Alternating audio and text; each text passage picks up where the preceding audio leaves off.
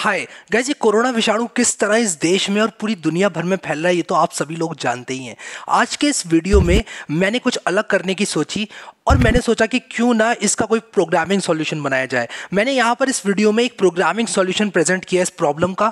इसीलिए मैं चाहता हूँ कि आप सभी लोग इस वीडियो को देखना और बहुत ध्यान से देखना, क्योंकि ये वीडियो इस चैनल का अब तक का सबसे स्पेशल वीडियो है। मैंने आज तक कभी किसी हेल्थ केयर इमरजेंसी या किसी भी ऐसे सेंसिटिव टॉपिक को प्रोग्रामिंग के थ्रू एड्रेस इस चैनल पर नहीं किया है। इसीलिए मैं चाहता हूँ सब लोग इस वीडियो को देखना। मैंने जो सॉल्यूशन प्रेजेंट किया है, उसको आप लोग समझना। और उसके बाद इंटर्न मुझे बताना कि वो सॉल्यूशन जो है वो काम करेगा या नहीं करेगा, क्या चैलेंजेस हैं और क्या वो एक नया ब्रेक थ्रू बन सकता है प्रोग्रामिंग के थ्रू प्रॉब्लम सॉल्विंग की जहाँ पर बात आती है। इसलिए इस वीडियो को देखें। किस भारत के प्रधानमंत्री नरेंद्र मोदी जी ने कल ट्वीट किया था, जिसमें उन्होंने सबको इन्वाइट किया था। कोविड नाइन्टीन चैलेंज में उन्होंने कहा था कि अगर किसी के पास भी किसी भी तरह का सॉल्यूशन आता है दिमाग में तो उन्होंने एक पोर्टल बनाया है ministry of health and family welfare की वेबसाइट पर। एक पोर्टल है, जिसमें उन्होंने वहाँ पर लिखा हुआ है कि किस तरह से आप लोग सबमिट कर सकते हैं, इस कंपटीशन में पार्टिसिपेट कर सकते हैं और उन्होंने इस कंपटीशन के कुछ प्राइजेस भी यहाँ पर दिए हैं। First prize if I am not wrong एक लाख रुपए सेकंड प्राइज पचास हज़ार रुपए। मेरा यहाँ पर जो फोकस है वो प्राइज मनी को जीतना नहीं है। मेरा यहाँ पर फोकस है अपना कॉन्ट्रीब्यूशन देना as a programmer as a responsible citizen of my country and as a responsible individual living in this world तो ज़्यादा आप लोगों का टाइम वेस्ट नहीं करूँगा। मैंने एक प्रोग्रामिंग सॉल्यूशन सजेस्ट किया है, जो कि ये जो कुछ भी हो रहा है यहाँ पर, ये विषाणु जितनी भी तेज़ी से फैल रहा है, उसको रोकने में मदद करेगा। कैसे करेगा? चलो देखते हैं। मैंने यहाँ पर आप लोगों के लिए इस चीज़ को बहुत अच्छी तरह से प्रेजेंट किया है। इसलिए मैं सबसे पहले स्टार्ट करूँगा स्टैट्स के साथ। तो चलो चलते हैं और देखते हैं क्या स्टैट्स हैं। और राइट गैस तो हम स्टार्ट करेंगे यहाँ पर देखकर स्टैट्स करंट स्टैट्स क्या हैं अभी आ, इस विषाणु के। तो अगर हम लोग देखें नंबर ऑफ़ डेथ्स तो वो चार हैं इंडिया में और पूरी दुनिया में नौ हज़ार दो सौ अठहत्तर। और उसी के साथ साथ अगर केसेस देखें तो at the time of recording this video जब मैं रिकॉर्ड कर रहा हूँ 197 इंडिया में और पूरी दुनिया में अराउंड दो लाख जो कि बहुत ज़्यादा नंबर है। और उसी के साथ साथ अगर नए केसेस की बात करें यानी कि जो एक दिन में देखे गए हैं इंडिया में 28 जो कि बढ़ते ही चले जा रहे हैं टाइम के साथ। और उसी के साथ साथ पूरी दुनिया में अगर हम बात करें तो 6,840 और काफ़ी ज़्यादा स्कैरी है। और रिकवरी की अगर बात करें तो इंडिया में अभी आउटस्टैंडिंग केसेस बहुत ज़्यादा हैं हमारे। 167 जो हैं आई एम सॉरी 177 जो हैं वो ऑलरेडी अभी रिकवर नहीं हुए हैं। उनमें से सिर्फ़ 20 रिकवर हुए हैं और उसी के साथ साथ अगर हम पूरी दुनिया की बात करें तो 85,831 जिसमें से मोस्टली चाइना है वो लोग रिकवर हो चुके हैं।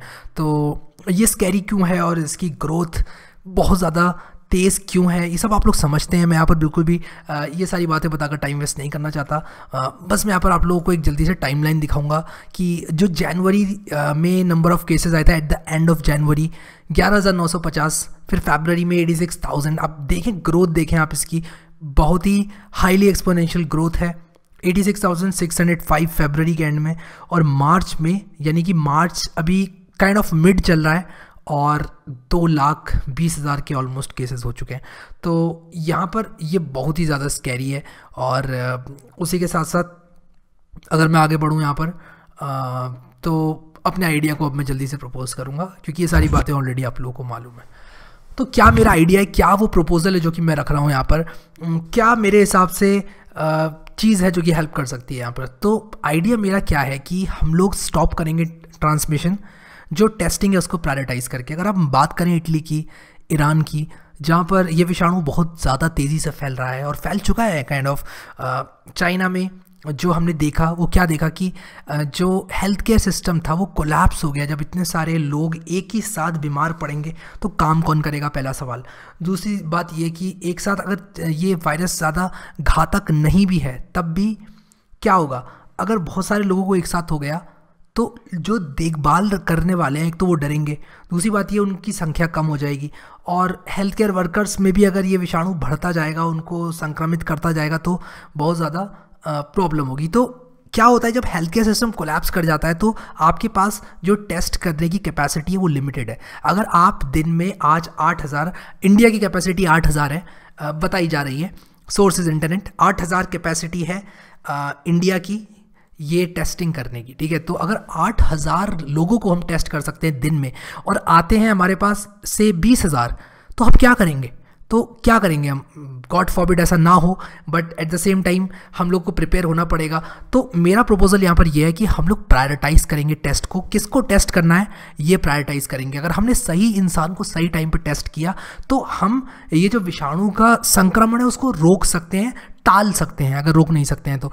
तो यहाँ पर एक हेल्थ केयर सिस्टम के ऊपर एक लेयर है हमारी टेक्नोलॉजी की, जो कि क्या करेगी, जो कि बताएगी हेल्थ केयर सिस्टम को कि हमें किस तरह से किसको टेस्ट करना है, कब।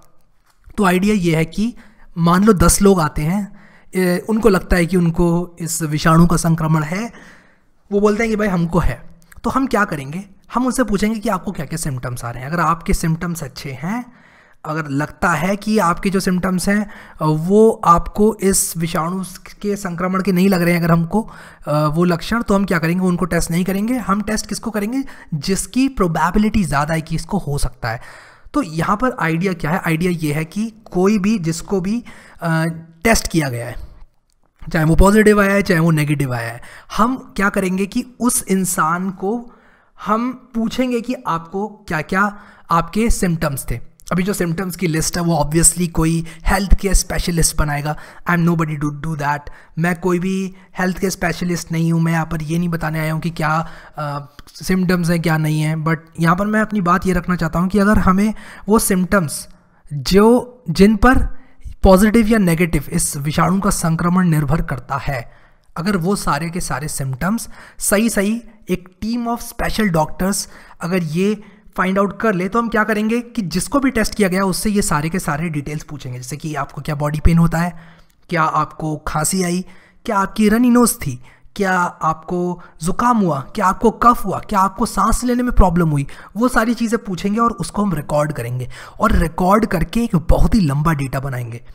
वो डेटा एक बार हमारे पास आ गया तो हमें पता है कि भाई, ये सिम्टम्स हैं तो क्या है? संक्रमण हुआ था। ये सिम्टम्स थे तो नहीं था। ये सिम्टम्स थे तो था, ये सिम्टम्स थे तो नहीं था। और ऐसे हमारे पास जब बहुत सारा डेटा हो जाएगा इस सारे सिम्टम्स का, तब हम क्या करेंगे? हम मशीन लर्निंग मॉडल को ट्रेन करेंगे और उसके बाद कोई नया इंसान अगर आता है, हम उसको टेस्ट करने से पहले उससे पूछेंगे कि आपके क्या क्या सिम्टम्स हैं। और वो एक बार सिम्टम्स बताएगा तो हमारा मशीन लर्निंग का मॉडल ये बताएगा कि क्या प्रोबेबिलिटी है कि उसको इस विषाणु का संक्रमण है। ठीक है? तो अगर इन्फेक्शन है उसको तो उसकी प्रोबेबिलिटी हाई होगी और अगर नहीं है तो उसकी प्रोबेबिलिटी लो होगी। अब ऑब्वियसली इस तरह का अगर मॉडल हम लोग अभी बनाएँगे जो कि मैं इस वीडियो में बनाऊँगा उसमें मैं सैंपल पैरामीटर्स लूँगा। सारे के सारे आ, मैं सिर्फ़ एक आइडिया लूँगा एक आइडिया आप लोगों के सामने पेश करूँगा एक एम बनाऊँगा मिनिमल प्रोडक्ट बनाऊँगा। बिल्कुल भी मैं यहाँ पर एक ऐसा प्रोडक्ट नहीं बना रहा हूँ कि एकदम उसको आप कल यूज़ करें और आप उसको जो है एकदम रेडी टू यूज़ है। अगर ऐसा करना है तो इस आइडिया के लिए गवर्नमेंट की ज़रूरत पड़ेगी और ये सारे डेटा को कलेक्ट करने की ज़रूरत पड़ेगी बट एक पोटेंशियल सॉल्यूशन तो यहाँ पर हम क्या कर रहे हैं? मशीन लर्निंग मॉडल को ट्रेन कर रहे हैं और किस डेटा पर ट्रेन कर रहे हैं? सिम्टम्स uh, हमारे फीचर्स हैं हमारा लेबल क्या है? हमारा लेबल है परसेंटेज की सिम्टम सॉरी इन्फेक्शन है कि नहीं. तो हमारे जो ट्रेनिंग डेटा है उसमें वो ज़ीरो और हंड्रेड परसेंट रहेगा और जो हमारा, जो भी हमारे इनकमिंग फीचर्स आएँगे इनकमिंग सिम्टम्स आएँगे, उसमें हम बताएँगे कि क्या परसेंट चांस है कि किसी को इन्फेक्शन हो सकता है, ठीक है? और जिसके चांसेस ज़्यादा होंगे, हम उसको पहले टेस्ट करेंगे, यानी कि हम टेस्टिंग को प्रायोरिटाइज करेंगे।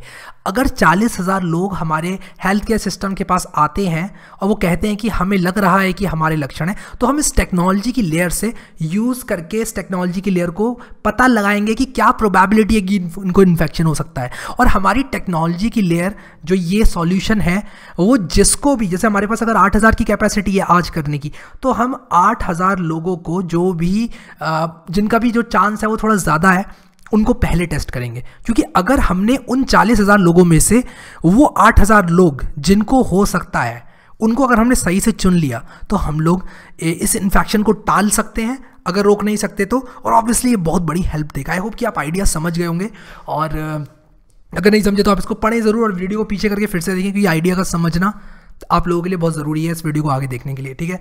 सो so, यहाँ पर मैंने लिखा है the model is then use to find out whom to test for the infection first under a limited testing capacity अब आपकी टेस्टिंग कितनी भी हो कितना भी डेवलप्ड कंट्री हो अगर ये फैल गया अगर ये फैला तो ऑब्वियसली क्या होगा?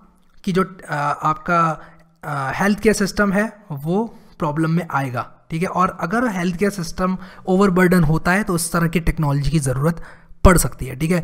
तो यहाँ पर उसी मॉडल का हम इस्तेमाल करके जो पोटेंशियल कैंडिडेट्स हैं, जो भी कह रहे हैं कि हमको हो सकता है, उनसे हम पूछेंगे। आपके जो सिम्टम्स है वो बताइए आप। तो किसी ने सिम्टम बताए, मान लो हमने इसको एक मोबाइल ऐप में कन्वर्ट कर दिया, एक आईओएस या एंड्रॉयड ऐप में कन्वर्ट कर दिया तो जो हमारा कोई भी एक हेल्थ केयर वर्कर रहेगा या कोई भी वर्कर रहेगा, वो सबसे पहले पेशेंट से ही पूछेगा कि आप सिम्टम्स बताएँ और वो चट चट चट जल्दी जल्दी जल्दी करके जो भी सिम्टम्स हैं उनको टिक करेगा और प्रोबेबिलिटी निकालेगा। और वो प्रोबेबिलिटी हम किसी डेटाबेस में राइट कर सकते हैं। और उसके बाद जैसे जैसे कोई भी प्रोबेबिलिटी अगर ज़्यादा आ रही है तो हम उन लोगों को, उन लोगों के टेस्ट को पैराटाइज करेंगे। मैं ये नहीं कह रहा हूँ कि जो लोगों की प्रोबेबिलिटी कम आ रही है, उनको टेस्ट मत करो। क्योंकि ऑब्वियसली इस तरह के सिस्टम्स में जो कि हम टेक्नोलॉजी का यूज़ करके और खासकर जहाँ मशीन लर्निंग की बात आती है, वहाँ पर एकदम हंड्रेड परसेंट एक्यूरेसी तो नहीं ही होती है। जो भी मशीन लर्निंग मॉडल बता रहा है, वो डेटा को देख कर ही बता रहा है। अगर इस तरह का डेटा कलेक्ट किया जाता है तो डेटा में कलेक्ट करने में भी कोई प्रॉब्लम आ सकती है तो वो सारी फैक्टर्स को भी हमें लेना पड़ेगा। लेकिन something is better than nothing कुछ ना होने से अच्छा कुछ होना अच्छा है, और ये वही कुछ है। तो हम अगर इसको यूज़ करेंगे ऑन टॉप ऑफ़ जो हम कर रहे हैं अभी, अगर चालीस हज़ार लोग आ रहे हैं और आठ हज़ार की कैपेसिटी है तो कैसे प्रायोरिटाइज करना है? जैसे कि इटली में बताया जा रहा है अभी कि केसेस मतलब जो है इतने ज़्यादा आ गए हैं, लोग इतना परेशान है कि किसको ज़िंदा रखना है, किसका टेस्ट होना है, किसका नहीं होना है, उनको डिसाइड करना पड़ रहा है। तो ये वही डिसीज़न मॉडल है जो कि मैं यहाँ पर बनाने की कोशिश कर रहा हूँ। और ऑब्वियसली यहाँ पर गॉड फॉरबिड ऐसा कुछ इंडिया में ना हो, अभी तक जो है सिचुएशन अंडर कंट्रोल है यहाँ पर। और बिल्कुल भी हम सभी ये चाहते हैं कि एकदम रहे और हम सभी कोशिश कर रहे हैं कि जो सिचुएशन है वो अंडर कंट्रोल ही रहे। तो अभी मैं यहाँ पर आगे जाऊँगा और बात करूँगा वो मॉडल पैरामीटर्स यानी कि वो फीचर्स और लेबल्स जो कि हमें इस मॉडल के लिए इस्तेमाल करने हैं, ठीक है? तो वो कौन से मॉडल पैरामीटर्स हैं और वो पैरामीटर्स कैसे आएँगे, ठीक है? यहाँ पर मैं सबसे पहले आप लोगों को बताना चाहता हूँ कि मैं कोई हेल्थ केयर स्पेशलिस्ट नहीं हूँ, मैंने कोई रिसर्च नहीं करी है किसी भी तरह के विषाणु पर, कुछ भी मैंने ऐसा नहीं किया है, ठीक है? लेकिन यहाँ पर मैं अपना प्रपोजल रख रहा हूँ as a programmer as a machine learning engineer तो यहाँ पर a team of doctors can sit down to find out the best model parameters. इसको करने के लिए एक टीम ऑफ़ डॉक्टर्स या हेल्थ स्पेशलिस्ट की ज़रूरत पड़ेगी। जो लोग क्या करेंगे? जो लोग बैठकर बताएँगे कि वो कौन से फीचर्स हैं जो कि रेलेवेंट रहेंगे। जिन लोगों ने काम किया है इस पर जिन लोगों ने इस तरह के पेशेंट्स को देखा है वो लोग ही बता सकते हैं इस चीज़ को कि आ, क्या चीज़ रेलेवेंट है और क्या चीज़ रेलेवेंट है ठीक है? जो यहाँ पर अगर हम बात करें आ, किसी डॉक्टर से या फिर किसी ऐसे इंसान से जो कि इस तरह के वायरसेस के साथ डील कर रहा है तो वो हमें बता सकता है कि आप ये ये फैक्टर्स ले लें और इन इन फैक्टर्स के हिसाब से आप डिटेक्ट कर सकते हैं कि क्या इस विषाणु का संक्रमण किसी इंसान को हुआ है या नहीं हुआ है ठीक है? तो मैं यहाँ पर जस्ट एक मॉडल बनाने के लिए, एक प्रोटोटाइप बनाने के लिए कुछ सैंपल सेट ऑफ़ पैरामीटर्स ले रहा हूँ। और ऑब्वियसली मैं ये नहीं कह रहा हूँ कि ये मॉडल एकदम रेडी टू यूज़ है। मैं बार बार ये चीज़ इसलिए बोल रहा हूँ क्योंकि ये इशू बहुत ज़्यादा सीरियस है। और मैं बस यहाँ पर अपना प्रपोजल रख रहा हूँ और ये इस चीज़ को बहुत ज़्यादा फाइन ट्यूनिंग की ज़रूरत पड़ेगी बट एक एमवीपी जैसे बोलते हैं वो यहाँ पर मैं बना रहा हूँ। तो मैंने पैरामीटर्स यहाँ पर लिए एवरेज फीवर जो कि एक कॉन्टीन्यूस वेरिएबल है। Ninety eight ninety nine hundred one जो भी है hundred one point one hundred one point two वो सारी की सारी वैल्यूज़ हमारी एवरेज फीचर ले सकता है। फिर अगर हम बात करें बॉडी पेन की, क्या बॉडी पेन हो रहा है? क्या बॉडी पेन नहीं हो रहा है? अगर किसी को बॉडी पेन हो रहा है तो ज़ीरो सॉरी तो वन अगर बॉडी पेन नहीं हो रहा है तो इसकी वैल्यू ज़ीरो रहेगी, यानी कि ट्रू या फॉल्स एक बाइनरी वेरिएबल है। उसके बाद एज एक डिस्क्रीट वेरिएबल है जो कि हम आ, लेंगे 21, 22, 23, 65, 70, 71, 84, 87 आ, या फिर दो तीन चार जो भी वैल्यूज़ हैं एज की वो यहाँ पर आ जाएगी। क्या रनी नोज़ है आपकी? और अगेन ये एक बाइनरी वेरिएबल होगा। आई शुड हैव रिटन है बट मैंने लिखा नहीं है। uh, तो ज़ीरो और वन अगर आपकी रनी नोज़ है तो वन वन ये ये जो वेरिएबल है वो ज़ीरो रहेगा ठीक है? इसके बाद डिफ़िकल्टी ब्रीथिंग क्या डिफ़िकल्टी हो रही है सांस लेने में? अगर नहीं हो रही है तो माइनस वन थोड़ी सी ज़्यादा हो रही है, हल्की फुल्की, थोड़ा जैसे वो कहते हैं ना, खांसी की वजह से हल्की फुल्की हो जाती है डिफ़िकल्टी इन ब्रीथिंग तो ज़ीरो और अगर बहुत ज़्यादा हो रही है, यानी कि रात को नींद नहीं आ रही है, सांस लेने में प्रॉब्लम हो रही है तो उन पेशेंट्स के लिए ये वैल्यू वन हो जाएगी, ठीक है? और अभी के लिए मैंने सिर्फ़ पाँच फीचर्स लिए हैं बट अगर इस तरह का कोई मॉडल फ्यूचर में बनाया जाता है तो ऑब्वियसली उसमें बहुत सारे हमारे फीचर्स रहेंगे, और वो फीचर्स इन फीचर्स से मेरे हिसाब से बहुत ज़्यादा रेलिवेंट होने वाले हैं। मे बी वो कुछ और फीचर्स होंगे बट वो कुछ इसी तरह से देखेंगे। एक बेसिक आइडिया यही है, जो कि आप लोग अभी तक समझ गए होंगे। अब हम लेबल्स की बात करते हैं, क्या लेबल्स हैं? लेबल हमारा सिर्फ़ एक है प्रोबेबिलिटी कि क्या चांस है कि उसको इस विषाणु का संक्रमण है। तो प्रोबेबिलिटी को जैसे हो सकती है zero zero point zero one या फिर आप उसको परसेंटेज में भी ले सकते हैं। आप उसको हंड्रेड से मल्टीप्लाई करेंगे तो परसेंटेज में आ जाएगी। जैसे sixty eight percent ninety one percent और जो भी आपकी रहेगी वो, ठीक है? तो उस हिसाब से आपकी प्रोबेबिलिटी आ जाएगी। सो आई होप कि आप लोगों को ये चीज़ जो है समझ में आ गई होगी। So guess few things before we start coding हम कोडिंग करने से पहले कुछ बात कर लेते हैं यहाँ पर। आ, हम वी एस कोड में जाकर कोडिंग करेंगे।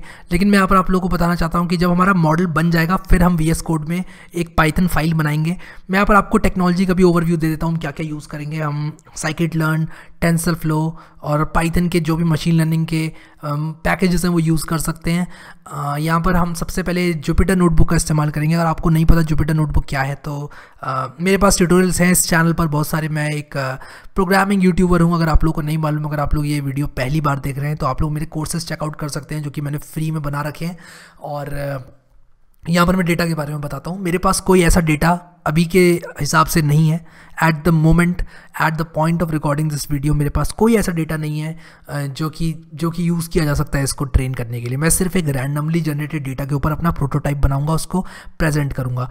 और उसी के साथ साथ यहाँ पर मैं आप लोग को बताना चाहता हूँ कि जुपिटर नोटबुक हम इसलिए यूज़ करते हैं क्योंकि हमें बार बार कोड को चलाना नहीं पड़ता है। तो जुपिटर नोटबुक क्या करती है कि अगर आपने कोई मॉडल वगैरह लोड कर लिया है तो आप उस मॉडल को बार बार यूज़ कर सकते हैं और आपके जो सेल्स हैं, वो बार बार जो है आप उनको अपडेट कर सकते हैं, उनको बार बार री रन कर सकते हैं और आपको मॉडल अगर आपका बहुत ज़्यादा हैवी हो जाता है तो बार बार लोड करने की ज़रूरत नहीं पड़ती, आपके रैम में रहता है। तो वो सारी आपको जो फैसिलिटी है वो जुपिटर नोटबुक प्रोवाइड करती है। इसलिए हम जुपिटर नोटबुक का इस्तेमाल करेंगे। डेटा का जैसे मैंने आप लोगों को बताया अभी रैंडमली जनरेट किया जाएगा डेटा मेरे पास कोई भी इस तरह का डेटा नहीं है जो कि हम यूज़ कर सकें इसमें बट अगर हमें इस तरह का डेटा कलेक्ट करना है तो हमें हेल्प चाहिए होगी गवर्नमेंट से या फिर हेल्थ केयर वर्कर से या फिर जो भी कंसर्न पीपल हैं इस चीज़ को लेकर उनसे। तो एक बार हमको हेल्प मिल जाती है तो हमारे पास एक बहुत लंबा डेटा आएगा और same model exactly same model जो कि मैं यहाँ पर बता रहा हूँ, वो ट्रेन किया जा सकता है सेम कोड का इस्तेमाल करके और सेम कोड का इस्तेमाल करके हम इन्फ्रेंस भी कर सकते हैं मॉडल का। तो यहाँ पर ये बात मैं आप लोग को बताऊँगा। अगर आप लोग को ये जानना है कि किस तरह से हम लोग इसको इन्फर करेंगे मॉडल को तो मैं आपको बता दूँ कि हम एक यूआई बनाएँगे, जिसमें एक फॉर्म रहेगा। वो फॉर्म बेसिक सवाल पूछेगा लोगों से। किस तरह के सवाल पूछेगा कि क्या आपको रनी नोज़ है? आपका फीवर कितना है? आपकी एज कितनी है? वो सारी चीज़ें, जो कि मैंने आप लोगों को भी फीचर्स बताए, वो पूछेगा और वो बताएगा कि कितना आपको ये विषाणु का संक्रमण होने की प्रोबेबिलिटी है। या फिर आ, कितना परसेंट आपको हो सकता है अगर सिंपल भाषा में बात की जाए तो?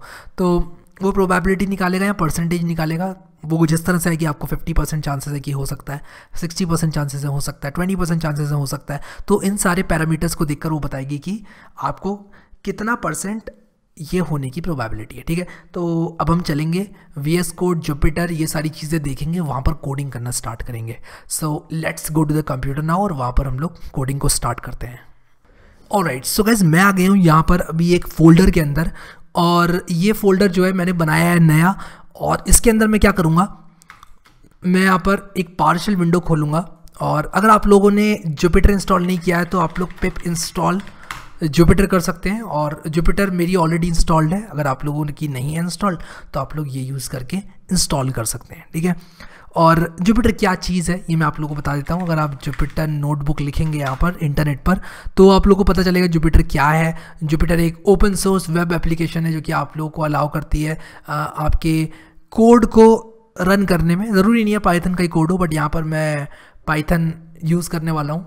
तो जुपिटर जो है आप लोग इस्तेमाल कर सकते हो और मैंने ट्यूटोरियल्स भी बनाए हुए हैं। अगर आप लोगों ने मेरा चैनल चेकआउट नहीं किया तो उसको कर लेना बाद में।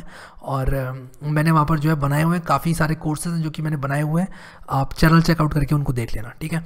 सो so, ये है हमारा जुपिटर अगर आपने इंस्टॉल नहीं किया है तो आपको सिंपली पिप इंस्टॉल जुपिटर ये फायर करना है। और ऑब्वियसली आपको पाइथन इंस्टॉल करना पड़ेगा। तो आप लोग इंस्टॉल पाइथन कर लेना। और पाइथन इंस्टॉल करने के साथ साथ आपको आ, ये जो जुपिटर है वो इंस्टॉल करना पड़ेगा एंड दैट्स अबाउट इट आप यही कर सकते हैं और अगर आप लोगों को पाइथन से हेल्प चाहिए तो मेरा पाइथन ट्यूटोरियल इन हिंदी है। करीब एक घंटा पैंतालीस मिनट का वो आप देख सकते हैं। वो पूरा गाइड करेगा आपको कि किस तरह पाइथन वगैरह इंस्टॉल करना है। ठीक है? सो पाइथन मेरे पास इंस्टॉल है। एज्यूमिंग कि आपने पाइथन इंस्टॉल किया आपने पाइथन और पिप को पाथ में ऐड किया और जो कि ऑटोमेटिकली हो जाता है जब आप पाइथन इंस्टॉल करते हैं और उसके बाद आपको पिप इंस्टॉल जुपिटर ये आपने रन कर लिया। अगर आपने ये सब कर लिया है तो आप क्या करें? लिखें जुपिटर नोटबुक स्पेलिंग आप देख लें यहाँ पर जुपिटर नोटबुक ये लिख के आपको एंटर मारना है और जैसे ही आप एंटर मारेंगे तो एक नोटबुक सर्वर बन जाएगा आपका। और आपको एक लिंक खोल के मिलेगा और आपको जो ये फोल्डर दिखाई देगा, वो ये वाला फोल्डर दिखाई देगा जिसमें मैं हूँ अभी। तो मैं यहाँ पर क्या कर सकता हूँ? एक नई नोटबुक फ़ाइल बना सकता हूँ और मैं एक नई पाइथन थ्री की नोटबुक बना सकता हूँ। तो मैंने यहाँ पर एक नई पाइथन थ्री की नोटबुक बनाई है। ऊपर आप क्लिक करके यहाँ पर इस नोटबुक को रीनेम कर सकते हैं। मैं यहाँ पर इसका नाम दे देता हूँ। माई सॉल्यूशन टू मैं सिर्फ़ माई सॉल्यूशन लिखना चाहूँगा अभी यहाँ पर। और स्पेस भी दे सकते हैं आप इसमें। मैं यहाँ पर आपको जस्ट बताना चाहता हूँ कि स्पेस भी दे सकते हैं। और मैंने यहाँ पर जो है माई सॉल्यूशन लिख दिया है। ठीक है? अब कुछ पैकेजेस इंस्टॉल कर लेते हैं। अगर आप लोग को नहीं मालूम पाइथन में पैकेजेस क्या होते हैं तो पैकेजेस मॉड्यूल्स या फिर पैकेजेस आप पिप की मदद से इंस्टॉल कर सकते हैं। और पाइथन का कोड जो आप लिखेंगे, वो उसके ऊपर चलेगा। यानी कि आपने जो कोड लिखा है, वो इस्तेमाल करेगा कुछ ऐसे कोड को जो कि किसी और ने लिखा है। और वो कोड उन पैकेजेस या मॉड्यूल्स के अंदर होगा। तो मैं यहाँ पर इंस्टॉल करना चाहूँगा पिप की मदद से। अब यहाँ पर मेरा नोटबुक सर्वर चल रहा है, इसलिए मैं इस टर्मिनल को नहीं छोड़ सकता। छेड़ सकता तो मैं यहाँ पर शिफ्ट दबाकर राइट क्लिक करूँगा और ओपन पार्शल विंडो हेयर करूँगा, यानी कि एक और पावर्शल विंडो खोलूँगा। अगर आप लोगों ने यहाँ पर नोटिस किया हो तो यहाँ पर दो एक फ़ाइल और एक फोल्डर बन गया है और वो जुपिटर की वजह से बना है। तो मैं यहाँ पर अभी क्या करूँगा यहाँ पर मैं लिखने वाला हूँ pip install pandas s k learn और उसी के साथ साथ टेंसर फ्लो ठीक है? एंटर मारूँगा और यहाँ पर आप देखो, ये सारे के सारे मेरे ऑलरेडी इंस्टॉल्ड हैं। अगर आपके इंस्टॉल्ड नहीं होंगे तो फिर आपको यहाँ पर इंस्टॉल हो जाएगा, ठीक है? तो ये तीन पैकेज इंस्टॉल किए मैंने। और आप पे इंस्टॉल नमपाई भी कर लेना, ठीक है? मेरा ऑलरेडी इंस्टॉल्ड है, क्योंकि मैं ऑलरेडी यूज़ करता हूँ इन सब चीज़ों को।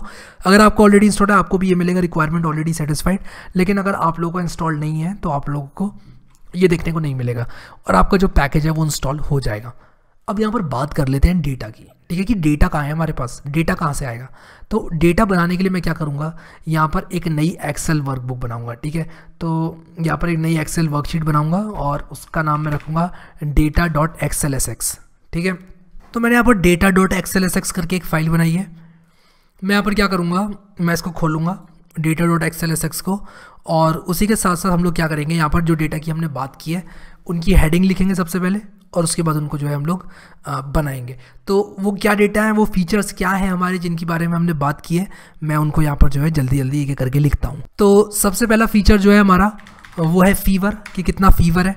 दूसरा, मैं बॉडी पेन को इस तरह लिखता हूँ बी पेन लिखता हूँ, और उसके बाद एज को एज लिखता हूँ, और रनी नोज़ को कुछ इस तरह से लिखता हूँ, और इसको मैं बॉडी पेन को भी ठीक से ही लिख देता हूँ, क्योंकि मैं खुद ही बोलता हूँ कि जो वेरिएबल्स के नाम हैं, उनको बहुत अच्छी तरह से लिखना चाहिए। और उसके बाद डिफ़िकल्टी ब्रीथ लिख देता हूँ, ठीक है? ज़्यादा मैं लंबे भी नहीं रखना चाहता अपने जो इसके लेबल्स हैं उनको। तो यहाँ पर मैं क्या करूँगा? मैंने यहाँ पर ये बनाया और उसके बाद जो मेरा फाइनल लेबल है मेरे फीचर्स हैं सारे के सारे। अब जो मेरा लेबल है, यानी कि वो चीज़ जो कि मैं डिटेक्ट करना चाहता हूँ, उसको मैं यहाँ पर लिखूँगा प्रॉब ठीक है? और इनफैक्ट मैं इसको इन्फेक्शन प्रॉब लिखूँगा। तो ये प्रोबेबिलिटी है इन्फेक्शन की और यहाँ पर fever body pain age runny nose difficulty breathing और इन्फेक्शन ठीक है? तो अगर किसी को फीवर है यानी कि फीवर मान लो किसी को 102 है body pain is yes age अगर उसकी 67 है और रनी नोज़ भी है उसको डिफ़िकल्टी ब्रीथिंग मान लो ज़ीरो है और आ, हमें और ऐसा पाया गया कि उनको इन्फेक्शन था। तो यहाँ पर हम क्या करेंगे? इन्फेक्शन में वन लिख देंगे, ठीक है? और यहाँ पर इन्फेक्शन में वन मैंने लिख दिया है। और उसी के साथ साथ मैं इस डेटा को फिल करूँगा। अगर 98 फीवर है बॉडी पेन नहीं है, और एज जो है वो है 28 रनी नोज़ भी नहीं है डिफिकल्टी ब्रीथिंग भी नहीं है तो इन्फेक्शन की प्रोबेबिलिटी इज़ ज़ीरो ठीक है? इसी तरह से ये डेटा हमको चाहिए होगा, जो कि अभी मेरे पास नहीं है, और हम लोग यहाँ पर इसको रैंडमली जनरेट कर रहे हैं। तो मैं जल्दी से इस डेटा को रैंडमली जनरेट कर देता हूँ, और इसको नीचे को एक्स्ट्रा बुलेट कर देता हूँ। तो जैसे कि आप लोग यहाँ पर देख रहे हैं, मैंने क्या किया? एक्सेल में फॉर्मूला डाल दिया रैंड बिटवीन का। 98 से लेके 104 तक फीवर मैं कंसीडर कर रहा हूँ। बॉडी पेन को ज़ीरो या वन में से एक। एज को मैं यहाँ पर क्या कंसीडर कर रहा हूँ? Rand between one to hundred तो वन से लेके हंड्रेड के बीच में कोई भी रैंडम नंबर रनी नोज़ को मैं क्या कर रहा हूँ? Rand between zero to one तो यहाँ पर मैंने rand between zero to one कर दिया है तो रनी नोज़ होगी या नहीं होगी। डिफ़िकल्टी ब्रीथिंग को मैंने क्या किया? माइनस वन टू वन लिया, क्योंकि मैंने आप लोगों को अगर याद हो तो बताया था कि अगर नहीं है डिफ़िकल्टी तो माइनस वन अगर थोड़ी बहुत है तो ज़ीरो वन वरना वन ठीक है? तो ये तीन पॉसिबल वैल्यूज़ हैं डिफ़िकल्टी ब्रीथिंग की। इन्फेक्शन प्रोबेबिलिटी की अगर हम बात करें तो या तो ज़ीरो हो सकती है या वन हो सकती है। अब आप लोग कहेंगे प्रोबेबिलिटी यहाँ पर point five point eight point nine क्यों नहीं है? क्योंकि अगर आप किसी को टेस्ट कर रहे हैं तो या तो ज़ीरो या वन या तो वो आया पॉजिटिव या नहीं आया। लेकिन जब आप इन्फर कर रहे हैं मॉडल को तो आपको पता लगाना है कि on a scale of zero to one ये कहाँ पर है। तो हम वो फाइंड आउट करेंगे, लेकिन यहाँ पर हमें पूरी सर्टेनिटी के साथ पता है कि उसको इन्फेक्शन है तो इसलिए वन नहीं है तो ज़ीरो ठीक है? और यहाँ पर भी रैंड बिटवीन मैं करता हूँ ज़ीरो और वन ठीक है? अब ये डेटा बिल्कुल भी एक्यूरेट नहीं है। ऑब्वियसली एक्यूरेट नहीं होगा, क्योंकि हमने कुछ इसमें एक्यूरेसी वाला काम किया नहीं है। तो मैं यहाँ पर जल्दी से क्या करूँगा, इसको नीचे कुछ इस तरह से मैं इसको एक्स्ट्रापोलेट कर रहा हूँ और यहाँ पर मैं ले रहा हूँ करीब टू थाउज़ेंड के करीब जा चुके हैं और यहाँ पर मैंने पच्चीस सौ छिहत्तर पॉइंट्स ले लिए हैं ठीक है? और ये मेरा डेटा बन चुका है। और ऑब्वियसली हम इससे अच्छे पैरामीटर्स भी यूज़ कर सकते हैं लेकिन अभी मैं यहाँ पर क्या करूँगा जल्दी से? आ, ये जो सारे के सारे वैल्यूज़ हैं इनको मैं एक सीएसवी के तौर पे सेव करूँगा तो मैं यहाँ पर इसको सेव एज सी करूँगा। तो एक्सपोर्ट और चेंज फ़ाइल टाइप उसके बाद यहाँ पर मैं जो सीएसवी है उसको चूज़ करूँगा। और मैं यहाँ पर इसको data dot C S V के नाम से सेव कर देता हूँ, ठीक है? तो मैंने सेव कर दिया और मेरा जो data dot C S V file है वो बन चुकी है, ठीक है? तो मैं इसको बंद करूँगा और ये देखो data dot C S V file मेरी बन चुकी है। इसको अगर मैं अभी खोलूँ तो मेरा डेटा अभी यहाँ पर मेरी वैल्यूज़ हैं सिर्फ़। इसीलिए मैंने यहाँ पर data dot C S V चुनी है। तो फीवर अगर आप लोग देखें तो 98 से लेके ये रैंडम नंबर मैंने बना रखा है और इनफैक्ट हम फीवर को एक चीज़ कर सकते थे। इसको हम रैंड यूज़ कर सकते थे यहाँ पर और मैंने यहाँ पर लिखा इक्वल टू रैंड और मैं यहाँ पर लिख सकता हूँ 98 प्लस और मैं यहाँ पर लिख दूँगा फोर मल्टीप्लाई बाय रैंड ठीक है? तो यहाँ पर फोर मल्टीप्लाई बाय रैंड यानी कि 98 से 102 के बीच में आ जाएगा अभी यहाँ पर, देखो मुझे इस तरह की वैल्यूज़ आने लग गई। तो मुझे यहाँ पर जो वैल्यूज़ हैं, वो डेसिमल वाली चाहिए तो मैं इसे कॉपी करूँगा और यहाँ पर राइट क्लिक करके पेस्ट एज वैल्यूज़ कर दूँगा। तो ये एज वैल्यूज़ पेस्ट हो जाएगा। तो यहाँ पर मैं मॉडल को थोड़ा सा रियलिस्टिक बनाना चाहता हूँ, इसलिए मैंने इसको इस तरह से वैल्यूज़ दे दी हैं। तो यहाँ पर देखो, ये हमारी फ्लोटिंग पॉइंट वैल्यूज़ आ गई हैं। तो जो बुखार है, वो आपको फ्लोटिंग पॉइंट वैल्यूज़ में आजकल मिल जाता है। एक सौ एक पॉइंट दो, ninety nine point one, hundred point three, ये सारी वैल्यूज़ हमको बुखार की देखने को मिल जाती हैं, ठीक है? तो जो फीवर है हमारा, जो बॉडी पेन है, ये सारी की सारी चीज़ें जो है हमारी ये जो एक दो, मैं इनफैक्ट इनको सेंटर करता हूँ पहले। एक, दो तीन, चार, पाँच फीचर्स हैं और हमारा लेबल क्या है? हमारा लेबल है इन्फेक्शन प्रोबेबिलिटी जो है ज़ीरो या वन लेकिन जब हम इन्फर करेंगे अपने मॉडल को तो वो ज़ीरो और वन के बीच में होगी। ठीक है? तो यहाँ पर मैंने ये डेटा जो है रेडी कर दिया है data dot C S P file अब मैं यहाँ पर इसको एक बार और सेव मारूँगा, बंद करूँगा और यहाँ पर ये जो मेरा डेटा है वो परसिस्ट हो गया है। देखो यहाँ पर ये वैल्यू सारी आ गई हैं। अब मैं यहाँ पर क्या करूँगा? ब्राउज़र में आऊँगा। और ब्राउज़र में आने के बाद ये जुपिटर नोटबुक खोलूँगा। ये जुपिटर नोटबुक अभी हमने बनाई थी, अगर आप लोग को याद हो तो। थोड़ा जूम इन कर लेता हूँ उसमें ताकि दिखाई दे आप लोगों को अच्छी तरह से। सबसे पहले हम अपने डेटा को रीड करेंगे। तो इसके लिए इम्पोर्ट पैंडास एस मैंने शिफ्ट एंटर दबाया सेल को एग्जीक्यूट करने के लिए और ये सेल जो है वो एग्जीक्यूट हो रहा है। जब तक ये सेल एग्जीक्यूट हो रहा है मैं आप लोगों को बताना चाहता हूँ कि आप यहाँ पर code markdown N B convert ये सारी चीज़ें यूज़ कर सकते हैं। अगर मैं यहाँ पर हेडिंग यूज़ करूँ तो मैं यहाँ पर क्या कर सकता हूँ? यहाँ पर आ, मैं मार्कडाउन में ही इसको यूज़ करता हूँ। तो ये कह रहा है कि जुपिटर जो है हेडिंग यूज़ नहीं करता है तो ठीक है। तो हम मार्कडाउन को यूज़ करते हैं ठीक है। तो मैंने यहाँ पर हैश लगाया और हैश लगाने के बाद यहाँ पर मैं क्या करूँगा? मैं यहाँ पर लिख दूँगा रीडिंग डेटा ठीक है तो मैंने शिफ्ट एंटर किया और लगता है मेरा जो सर्वर है वो हैंग हो चुका है, जो भी रीज़न है, मैं इसको वापस से रीस्टार्ट करना चाहूँगा कर्नल को। तो कभी कभी ऐसा हो जाता है और रेली होता है वैसे बट ठीक है। तो मैं यहाँ पर इसको वापस से भी रन करूँगा। कर्नल स्टार्ट हो गया है और इसको मैं भी रीस्टार्ट करके एग्जीक्यूट करता हूँ सारे सेल्स को। तो ये देखो, मेरा इम्पोर्ट पैंडा से स्पीडी जो है वो रीस्टार्ट हो गया है, ठीक है। तो मैं यहाँ पर इसको इस तरह से रीडिंग डेटा लिखूँगा और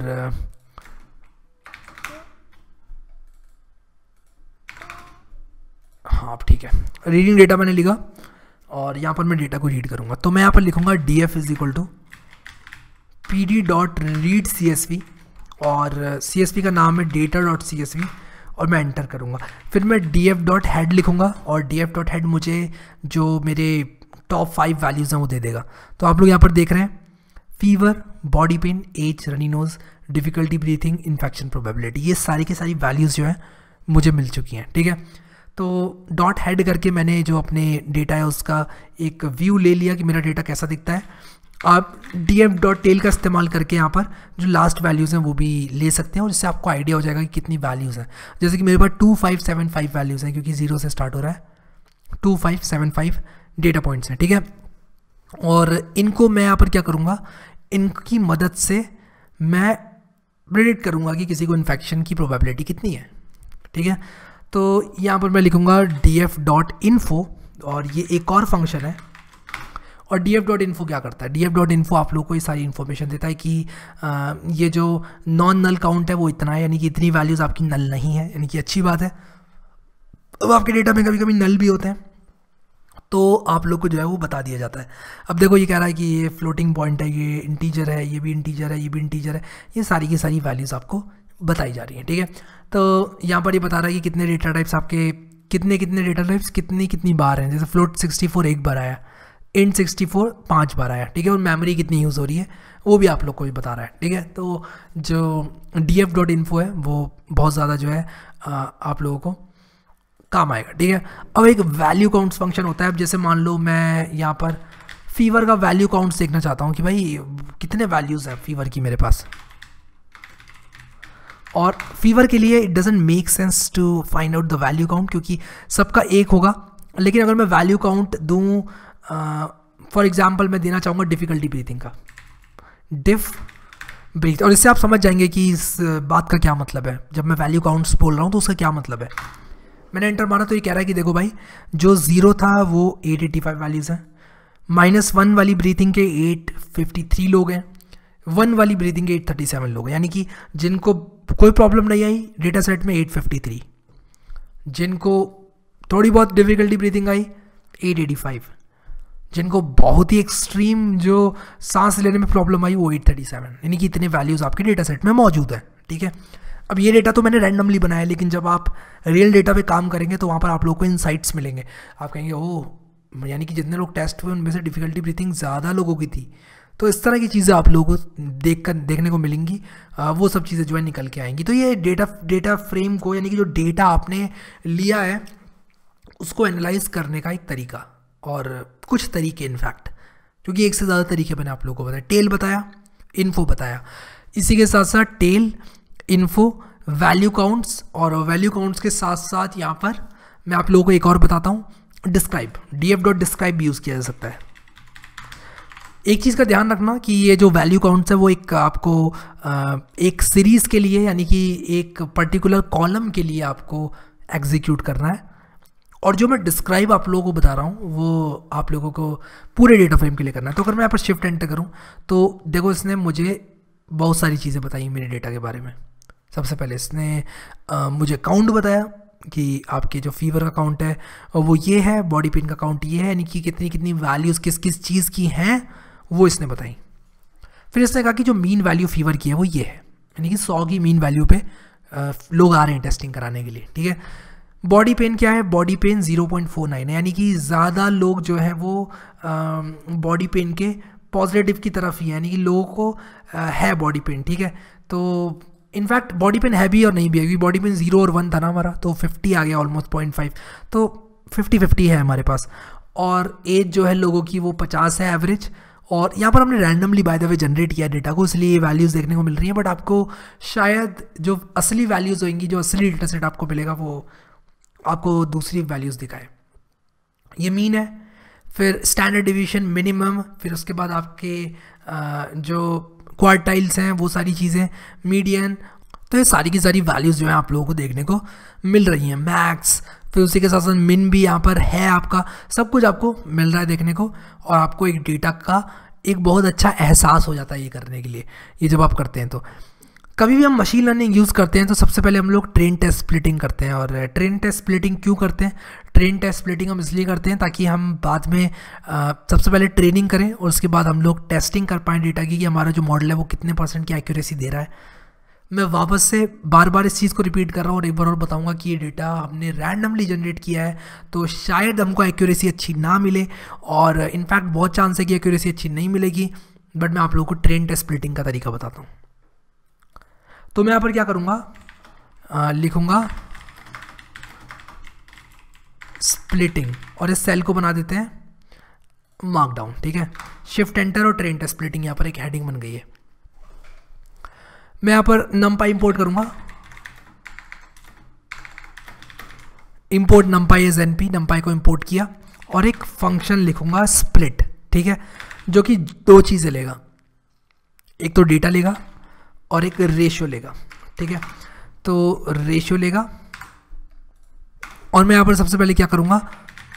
मैं यहाँ पर N P dot random dot seed लिख देता हूँ 42 इससे क्या होगा कि जब भी मैं रैंडम नंबर जनरेट करूँगा तो आप लोग रन करेंगे तो आप लोग देख पाएँगे कि आपने जो वैल्यू निकाली है वो सही निकाली है नहीं। और आपको ये लिखने की ज़रूरत नहीं है बेसिकली क्या रैंडम वैल्यूज़ जनरेट हो रही हैं, वो यहाँ पर आप लोग जो है फ्रीज कर देते हैं।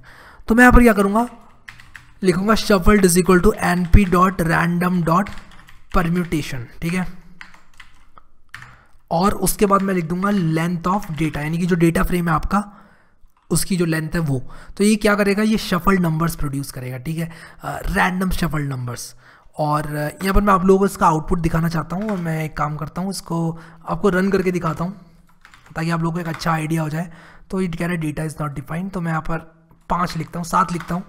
और ये देखो, इसने क्या किया? ज़ीरो से लेके छः तक इसने क्या किया? रैंडम परम्यूटेशन मुझे दी, ठीक है? तो ये करता है हमारा परम्यूटेशन फ़ंक्शन ठीक है? आई होप कि ये क्लियर हो गया होगा आप लोगों को। अब यहाँ पर हम क्या करने वाले हैं? लिखेंगे test set size is equal to हमारे टेस्ट सेट का क्या साइज़ होगा? Int of length of data ठीक है? ये क्यों किया मैंने? मान लो हमारे डेटा का साइज़ 10 है और रेशियो है पॉइंट फोर यानी कि 40 परसेंट आप रखना चाहते हैं आ, से आप 40 परसेंट रखना चाहते हैं ट्रेनिंग डेटा को ठीक है? तो आप उसी हिसाब से यहाँ पर जो है टेस्ट रेशियो से मल्टीप्लाई कर सकते हैं इसको। तो मैं यहाँ पर लिख दूँगा मल्टीप्लाई बाय रेशियो जैसे ही आप रेशियो करेंगे मल्टीप्लाई तो आपका जो टेस्ट डेटा है, वो 40 परसेंट आ जाएगा।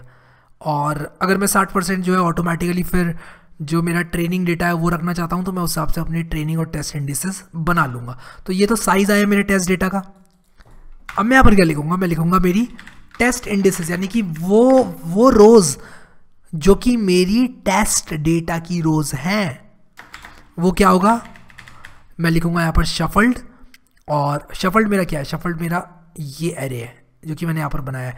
मैं कहूँगा शफल्ड में से क्या करो? ऑल रोज और टेस्ट सेट साइज़ वाले जो कॉलम्स हैं, वो ले लो, ठीक है? तो क्या होगा? वो वैल्यूज़ आ जाएँगी। अगर ये एरे है तो ये रो है, एक रो है इसमें और ये सारे कॉलम्स हैं। तो वो वैल्यूज़ ये ले लेगा, जो कि टेस्ट सेट साइज़ में आती हैं। सिमिलरली अगर मैं यहाँ पर लिखूं train indices is equal to तो क्या होगा? शफल्ड और यहाँ पर मैं जो मेरा ट्रेन सेट का साइज़ है वो मैं देना चाहूँगा, लेकिन मैं यहाँ पर उसको निकाल लूँगा। मैं कहूँगा कि क्या करो? टेस्ट सेट साइज़ वाली जो है मेरी वो जो है रोज़ ले लो। तो मैं यहाँ पर जो है बेसिक स्लाइसिंग कर रहा हूँ। ये बेसिक स्लाइसिंग है जो कि पाइथन में आप लोगों को पता होगी, यानी कि टेस्ट सेट साइज़ मैंने यहाँ पर लिख दिया। तो मेरी सिर्फ़ वो जो मेरा टेस्ट वाली, मेरी वैल्यूज़ हैं, वो सब आएँगी, ठीक है? सो आई होप कि आप लोगों को समझ में आ गया होगा। जब मैं यहाँ पर परम्यूटेशन एरे बना रहा हूँ। तो मुझे इस तरह का एक एरे मिलेगा। फिर मैं उस एरे को स्लाइस कर रहा हूँ। मैं कह रहा हूँ कि क्या करो कि शुरू की जो वैल्यूज़ हैं, जितना मेरा टेस्ट साइज़ है, वो ले लो, ठीक है? और उसके बाद मैं क्या कर रहा हूँ यहाँ पर मैं कह रहा हूँ कि टेस्ट साइज़ से लेकर जो शुरू की वैल्यूज़ हैं वो इसमें आएँगी और आखिरी की वैल्यूज़ इसमें आएँगी। तो आप स्लाइसिंग समझते हैं। स्लाइसिंग जो है आप लोग को पता होगा और आप इसको रन करके देखें अगर आप लोगों को प्रॉब्लम है तो ठीक है? अब मैं रिटर्न क्या करूँगा? अब रिटर्न जो मैं करूँगा वो थोड़ा सा आप लोग को ध्यान से देखना पड़ेगा। मैं रिटर्न करूँगा डेटा डॉट आई लॉक और मैं यहाँ पर लिखूँगा ट्रेन इंडिसेस और data dot iloc test indices और ये मेरा स्प्लिट फ़ंक्शन तैयार हो चुका है। अब मैं अपने डेटा को जो है स्प्लिट कर सकता हूँ, ठीक है? तो यहाँ पर मैंने क्या किया है? अपने डेटा को स्प्लिट करने का एक सिंपल सा फ़ंक्शन लिखा है। सो बस यहाँ पर हम अपने डेटा को ट्रेनिंग और टेस्ट में स्प्लिट कर सकते हैं, ठीक है? तो मैं यहाँ पर क्या करूँगा? ट्रेनिंग वाले डेटा से ट्रेन करूँगा टेस्ट वाले डेटा पे मैं टेस्ट करूँगा, ठीक है? तो मैं यहाँ पर सिंपली क्या करूँगा?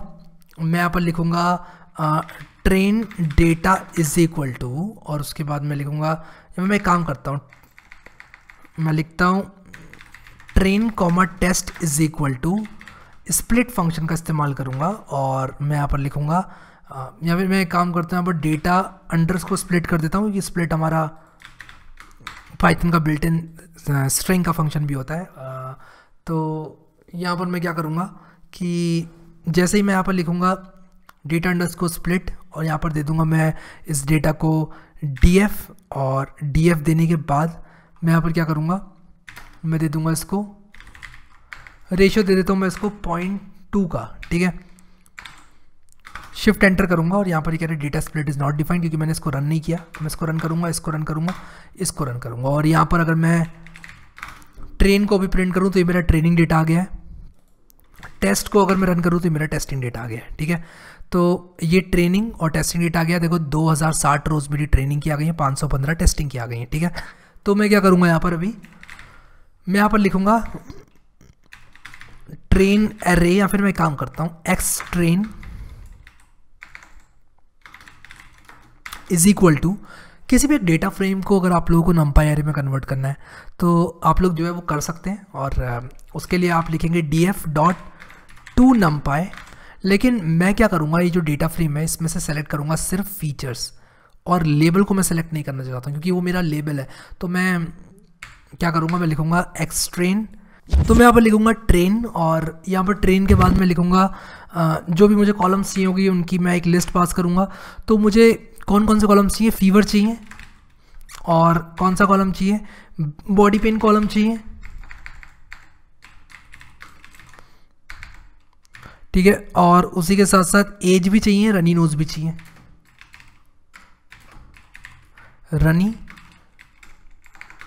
नोज़, उसके साथ साथ मुझे और क्या चाहिए? एक डिफ ब्रेथ भी चाहिए। और जैसे ही मैं अभी आप लोगों को दिखाता हूँ एक्स ट्रेन मेरा, उप्स, मैंने यहाँ पर कुछ गड़बड़ कर दी है। एक्स अंडर्स को ट्रेन जैसे मैं शिफ्ट एंटर करूँगा, मुझे ये स्लाइस होके मिल गया डेटा फ्रेम और मैं इसको जैसे ही टू नम्पाई करूँगा तो ये एक नम्पाई एरिया में कन्वर्ट हो जाएगा, ठीक है? तो मैं यहाँ पर लिख दूँगा जो मेरा एक्स ट्रेन है। वो इसका टू नम्पाई हो जाए, ठीक है? तो मैं इसका टू नम्पाई कर दूँगा यहाँ पर। और इन दोनों का अगर मैं अभी रन करूँ तो डायरेक्टली मुझे एक्स ट्रेन एक नम्पाई एरे मिल रहा है, ठीक है? अब सिमिलरली मैं क्या कर सकता हूँ? मैं एक्सट्रेन मैंने किया और जैसे मैंने एक्सट्रेन किया, मैं एक्स टेस्ट भी कर सकता हूँ। और एकदम मेरी ट्रेनिंग और टेस्ट के लिए एक ही चीज़ रहेगी टी ई एस टी करना पड़ेगा यहाँ पर। सिमिलरली यही चीज़ हम लोग वाई ट्रेन और वाई टेस्ट के साथ भी कर सकते हैं। तो सिंपली आप लोगों को एक्स की जगह वाई लिख देना है। और ट्रेन यहाँ पर है तो मुझे सिर्फ़ एक कॉलम चाहिए और वो क्या है? इन्फेक्शन प्रॉब क्योंकि वो मेरा लेबल है। इन्फेक्शन प्रॉब और वाइट ट्रेन और वाइटेस दोनों आ गए देखो वाइट ट्रेन किया मैंने। ये देखो यहाँ पर ये मुझे पूरे एरे मिल गए और मैं इसको रिशेप करना चाहूँगा। मैं लिखूँगा डॉट रिशेप और मैं यहाँ पर माइनस वन कॉमा वन लिखता हूँ। एक्स ट्रेन को भी और एक्स सॉरी वाई ट्रेन को भी और वाई टेस्ट को भी। और मैंने यहाँ पर इसको गलत लिख दिया। मैं यहाँ पर इसको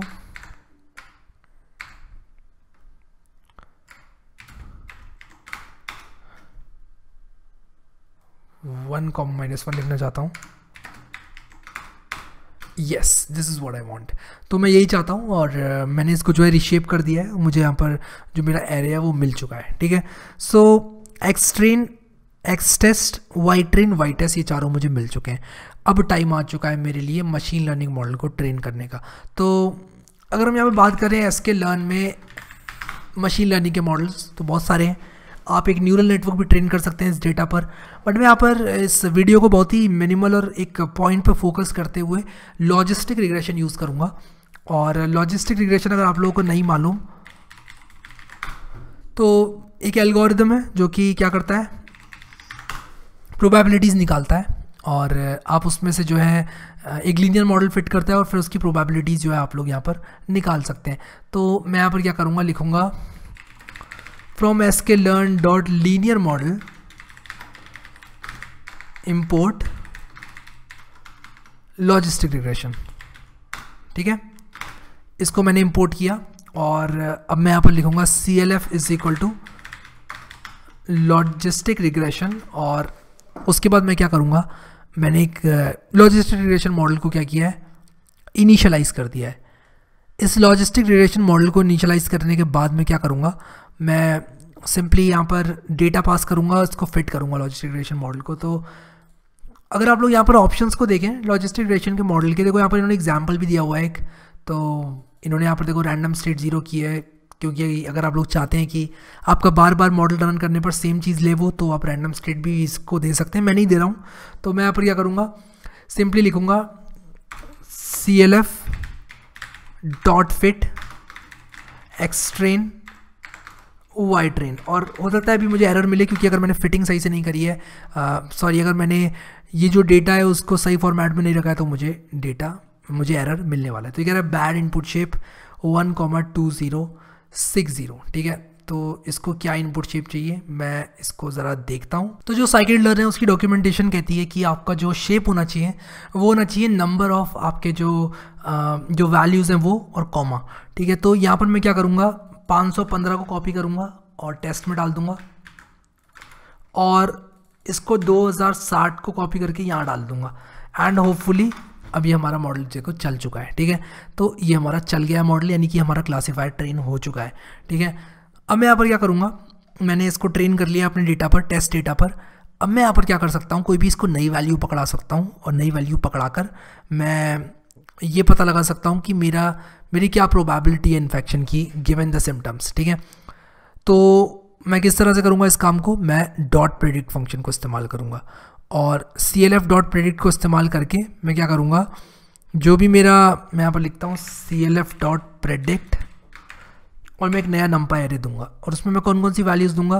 फीवर बॉडी पेन फीवर मान लो मैं दे रहा हूँ सौ बॉडी पेन वन और, उसके बाद एज में मान लो मैं ट्वेंटी टू दे रहा हूँ उसके बाद मैं रनी नोज़ में वन दे रहा हूँ वन वन रनी नोज़ में वन दिया मैंने डिफ़िकल्टी ब्रीथिंग में वन दिया मान लो मैंने, और इन्फेक्शन प्रोबेबिलिटी तो मुझे निकालना है।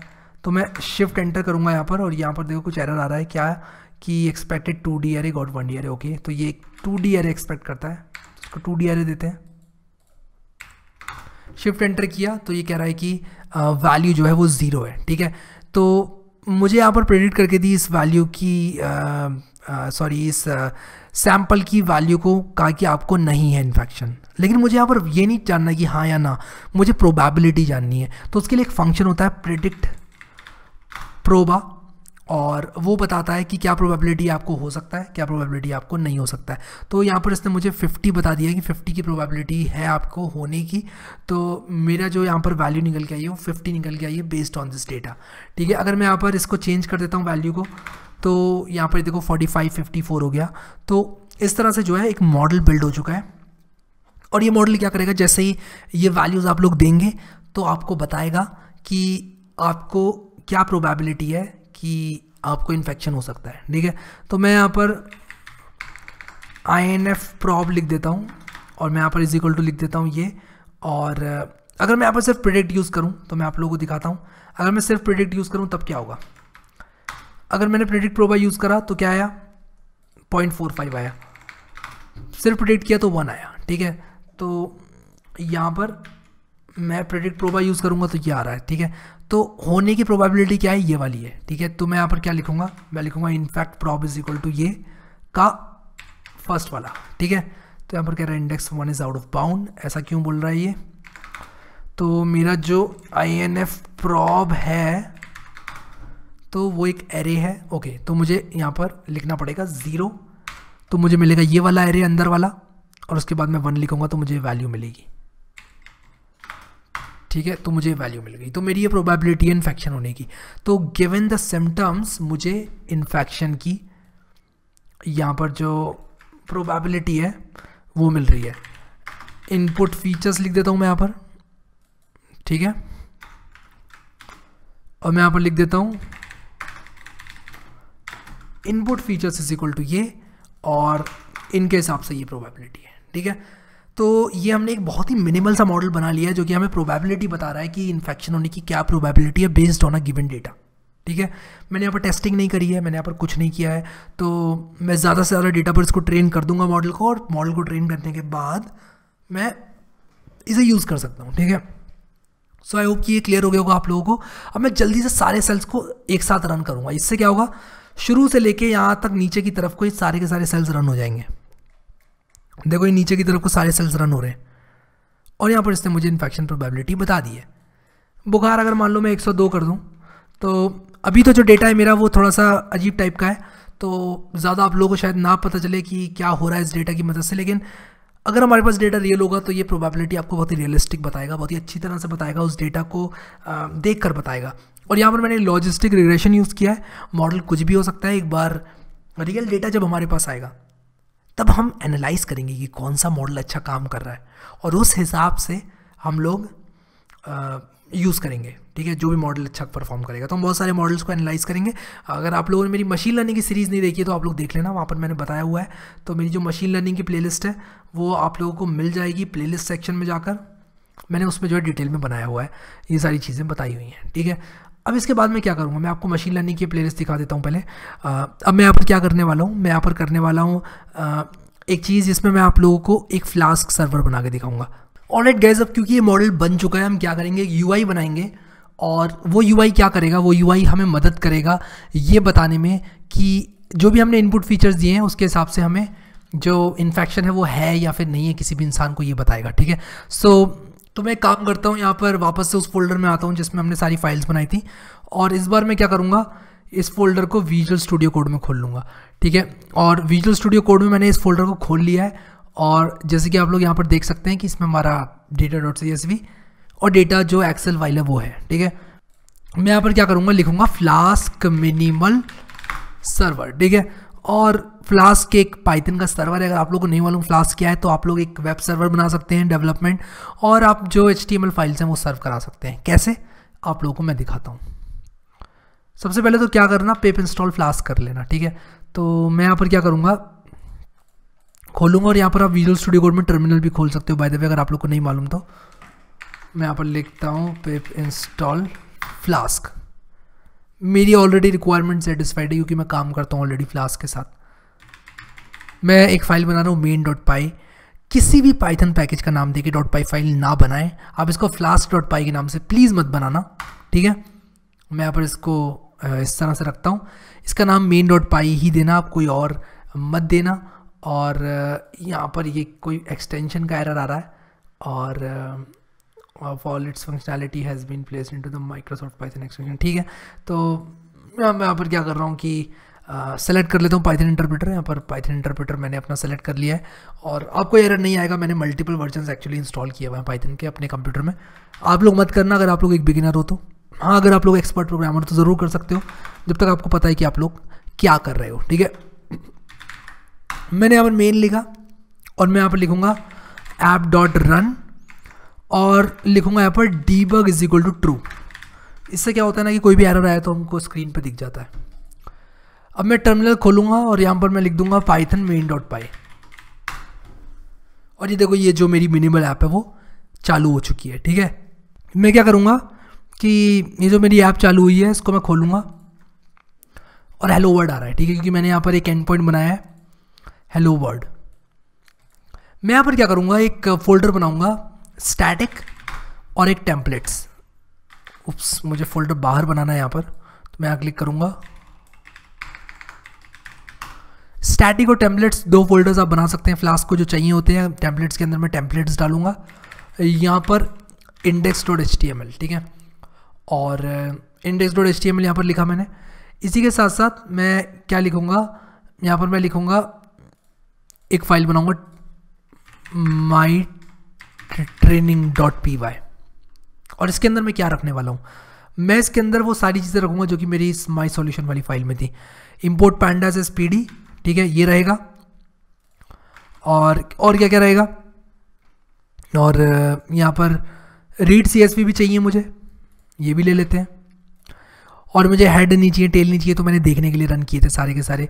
नमपाई एज एन पी मैं लूँगा नमपाई को भी इम्पोर्ट करूँगा यहाँ पर, क्योंकि मैंने यूज़ किया नमपाई का। फिर उसके बाद, ये भी मुझे नहीं चाहिए भी मैंने आप लोगों को दिखाने के लिए किया था। फिर हाँ ये जो डेटा स्प्लिट फ़ंक्शन है, वो चाहिए। और फ़ंक्शंस को मैं थोड़ा सा अलग रखूँगा यहाँ पर और इस चीज़ को मैं मेन के अंदर डालूँगा। ठीक है? तो यहाँ पर मैं इस तरह से लिखूँगा। आई होप कि ये क्लियर होगा आप लोगों को। और ये है मेरी my training dot P Y ठीक है? अब यहाँ पर क्या करूँगा मैं? बाकी की जो चीज़ें हैं उनको रखूँगा। जैसे ट्रेन टेस्ट स्प्लिटिंग मैंने करी बीस परसेंट की। और आप लोग जो है रियल डेटा पे जब करेंगे ट्रेन तो क्रॉस वैलिडेशन भी यूज़ कर सकते हैं और और क्रॉस वैलिडेशन थोड़ा सा ट्रिकी हो जाएगा अगर आप लोग बिगिनर हैं तो but it's worth looking into cross validation अगर आप लोग को और जानना है क्रॉस वैलिडेशन के बारे में तो। फिर उसके बाद वाई ट्रेन और वाई टेस्ट जो है वो भी मुझे यहाँ पर लाने होंगे। और ये मैंने किया सेव किया। और उसके बाद लॉजिस्टिक रिग्रेशन मॉडल उसको भी यहाँ पर इंपोर्ट करते हैं। फिर लॉजिस्टिक रिग्रेशन मॉडल की ट्रेनिंग उसको भी यहाँ पर लेकर आते हैं। और उसके बाद यहाँ पर जो प्रोबेबिलिटी है, वो किसी भी इनपुट फीचर की निकालनी है तो उसका ये कोड है, ठीक है? तो इसको मैं यहाँ पर लिख देता हूँ। कोड फॉर इन्फ्रेंस ठीक है? सेव किया मैंने। और ये इन्फ्रेंस प्रोबेबिलिटी वेरिएबल में आ जाएगा ठीक है? तो आई होप कि आपको समझ में आ गया होगा। मैं यहाँ पर थोड़े कमेंट्स लगा देता हूँ। रीड द डेटा और चलो कमेंट्स हम बाद में भी लगा लेंगे लेकिन ये चलता भी है कि नहीं इसको ज़रा देख लेते हैं एक बार। और uh, मैं यहाँ पर Python my training dot P Y लिखता हूँ। Oops Python my training dot P Y और ये चल रहा है ठीक है? लेकिन मैं चाहता हूँ कि जब ये रन हो तो ट्रेन करने के साथ साथ ये क्या करें? ट्रेन करने के साथ साथ ये मॉडल को सेव कर दे। ठीक है? तो उसके लिए एक मॉड्यूल होता है हमारे पास पिकल ठीक है? और पिकल वैसे अचार को बोलते हैं, लेकिन पिकल पाइथन एग्ज़ाम्पल लिख दो। ये आपको एक सिंपल सा एग्ज़ाम्पल किसी ना किसी वेबसाइट से मिल जाना है, ठीक है? देखो, बहुत सारी वेबसाइट हैं। कोई भी उठाओ, जो भी वेबसाइट सही लगे, उसमें से आप देख सकते हो। और आप लोगों को सिंटेक्स याद रहेगा नहीं, अब याद रह भी सकता है, ऐसा कोई चैलेंज नहीं कर रहा हूँ मैं। लेकिन यहाँ पर देखो मेनली आप इम्पोर्ट करो पिकल को। मैं यहाँ पर सबसे पहले इम्पोर्ट करूँगा पिकल को। ठीक है? इम्पोर्ट करने के बाद पिकल डॉट लोड और पिकल डॉट डंप ठीक है? पिकल डॉट डंप से क्या होता है कि आप किसी भी एक फ़ाइल में डंप कर सकते हो क्या? एक पाइथन ऑब्जेक्ट को। और वो पाइथन ऑब्जेक्ट क्या है इस केस में? सी एल एफ़ मेरा क्लासीफायर तो मैं यहाँ पर क्या कर रहा हूँ इसको? मैं यहाँ पर model dot P K L लिख रहा हूँ और मैं सी एल एफ़ को इस फ़ाइल में डंप कर दे रहा हूँ, ठीक है? तो अब मैं इसको रन करूँगा अगर तो यहाँ पर एक मॉडल डॉट पिकल फ़ाइल बन गई है, ठीक है? और इसको मैं यूज़ करूँगा कहाँ पर? इसको मैं यूज़ करूँगा यहाँ पर, ठीक है? तो एक काम करता हूँ मैं, ये जो कोड है ना इन्फ्रेंस वाला, इसको मैं यहाँ ले जाता हूँ। और इस कोड को यहाँ लिख कर मैं क्या करूँगा? मैं सी को लोड करता हूँ सबसे पहले यहाँ पर, सबसे ऊपर। मैं यहाँ पर लिखता हूँ, सबसे पहले पिकल को इंपोर्ट करता हूँ। पिकल डॉट लोड और यहाँ पर से फ़ाइल का मुझे ये देना है। और यहाँ पर देखो एग्ज़ाम्पल दिया होगा यार, आपको टेंशन लेने की ज़रूरत नहीं है। फ़ाइल को ओपन करो पहले। फिर पिकल डॉट लोड में लगा देना और फिर फ़ाइल डॉट क्लोज भी कर देना, ठीक है? और अगर आप विद का यूज़ करोगे तो फ़ाइल को क्लोज करने की भी ज़रूरत नहीं है, क्योंकि ऑटोमेटिकली वो क्लोज कर देता है। बट ठीक है यार, मैं यहाँ पर ज़्यादा उन सब चीज़ों को नहीं बताऊँगा जो ऑलरेडी मैंने अपने पाइथन कोर्स में बता दिए तो अगर आप लोगों ने मेरा पाइथन कोर्स नहीं देखा तो आप देख लें। Model dot P K L ठीक है? और यहाँ पर फ़ाइल डॉट क्लोज भी कर देना है, ठीक है? फ़ाइल में से मैंने रीड कर लिया और अब मैं फ़ाइल को क्लोज कर दूँगा। सिमिलरली यहाँ भी मैं फ़ाइल को क्लोज कर दूँगा एक बार मेरा काम हो जाएगा तो ठीक है? तो ये करने के बाद मैं क्या करूँगा? ट्रेनिंग में वापस से कर सकता हूँ लिख सकता हूँ। Python my training dot P Y ये लिखूँगा ट्रेनिंग हो जाएगी। फिर उसके बाद मैं अपने फ्लास सर्वर को देखो रीस्टार्ट मेरा हो चुका होगा फ्लास सर्वर फालतू टर्मिनल्स बंद करता हूँ। हम्म, सारे टर्मिनल्स ही बंद कर देता हूँ। यार यहाँ पर सिर्फ़ Python main dot P Y को चलाता हूँ। और इस बार मैं यहाँ पर क्या करूँगा? मैं एक काम करता हूँ ये ये ना करके मैं क्या करता हूँ रिटर्न करता हूँ ये plus S T R I N F prob ठीक है? इन्फेक्शन प्रोबेबिलिटी को मैं यहाँ पर प्रिंट कर रहा हूँ। तो चलो हिट करके देखते हैं सर्वर को रिफ्रेश करते हैं, और ये देखो, ये प्रोबेबिलिटी यहाँ पर आ गई है। किसी भी इनकमिंग जो वैल्यू है उसकी। लेकिन इसको इंटरैक्टिव कैसे बनाया जाए? और इसको अच्छा कैसे बनाया जाए? मैं उसको बनाने के लिए एक बूट स्ट्रैप जो कि एक फ्रेमवर्क है H T M L C S S Java strip JavaScript का, उसको यूज़ करने वाला हूँ। तो मैं गेट स्ट्रिप डॉट कॉम पर जाऊँगा डॉक्यूमेंटेशन में जाऊँगा स्टार्टर टेम्पलेट को कॉपी करूँगा, और उसके बाद अपनी index dot H T M L file में पेस्ट कर दूँगा, ठीक है? और यहाँ पर मैं एक फ्रॉम फ्लास्क इम्पोर्ट रेंडर भी कर लूँगा रेंडर टेम्पलेट कमेंट आउट करता हूँ इसको और यहाँ पर मैं लिखूँगा रिटर्न रेंडर टेम्पलेट और टेम्पलेट का नाम। इस केस में इंडेक्स डॉट एच और अब मैं इसको रिलोड करूँगा तो मेरी जो इंडेक्स डॉट एच है वो यहाँ पर लोड हो गई है। मैं इंडेक्स डॉट एच के अंदर क्या करूँगा? एक नैव बार जाऊँगा, लेकर आऊँगा। अगर आप लोगों ने बूट बूटस्ट्रैप यूज़ नहीं किया कभी तो मैं आप लोगों को बताना चाहता हूँ बूट बूटस्ट्रैप के बारे में पहले। बूटस्ट्रैप एक फ्रेमवर्क है जिसमें से आप कॉपी पेस्ट कर सकते हैं यहाँ से और आपको बहुत ही beautiful H T M L C S S JavaScript free में मिल जाती है। अगर आप एक फ्रंट एंड डिज़ाइनर नहीं है, अगर आप लोगों को नहीं आता फ्रंट एंड के बारे में ज़्यादा कुछ तो ये एक बहुत ही अच्छी चीज़ साबित हो सकती है आप लोगों के लिए। नैव बार में जाना, ये वाला नैव बार कॉपी कर लेना और ये वाला नैव बार आप यहाँ पर लगा देना बॉडी के अंदर और नैव बार लगाने के बाद ये हेलो वर्ड में हटा देता हूँ अच्छा नहीं लग रहा है। मैं यहाँ पर लिख देता हूँ वायरल इन्फेक्शन प्रोबेबिलिटी डिटेक्टर ठीक है? और इनफैक्ट इसको मैं लिख देता हूँ। प्रोबेबिलिटी डिटेक्टर और अब मैं यहाँ पर क्या करूँगा? ये लिखने के बाद रिलोड करूँगा। और ये देखो नेविगेशन बार आ गया, ठीक है? तो ये जो चीज़ है वो मैं कॉपी करता हूँ और यहाँ पर एक कोई भी अच्छी सी आप हेडिंग दे दें।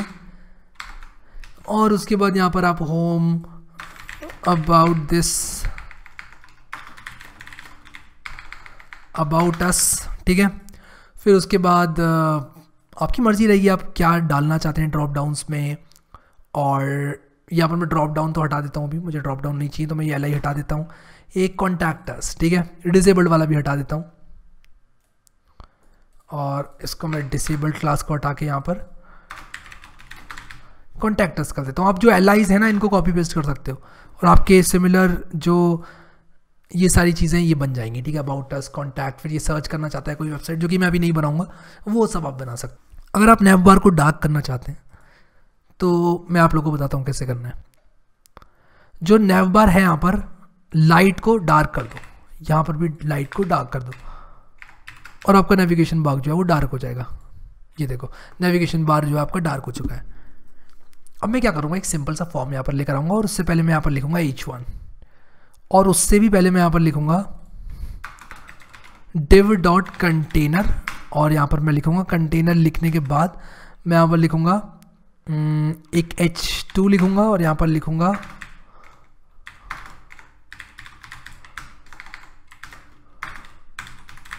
Probability detector. ठीक है? ये मैं यहाँ पर रिलोड करता हूँ। ये देखो, यहाँ पर लिख कर ये आ गया है। ठीक है? और अगर आप सेंटर करना चाहते हैं तो इसको आप क्लास दे सकते हैं टेक्स सेंटर और ये सेंटर हो जाएगा। ठीक है? ये देखो, यहाँ पर रिलोड करूँगा तो सेंटर हो गया है।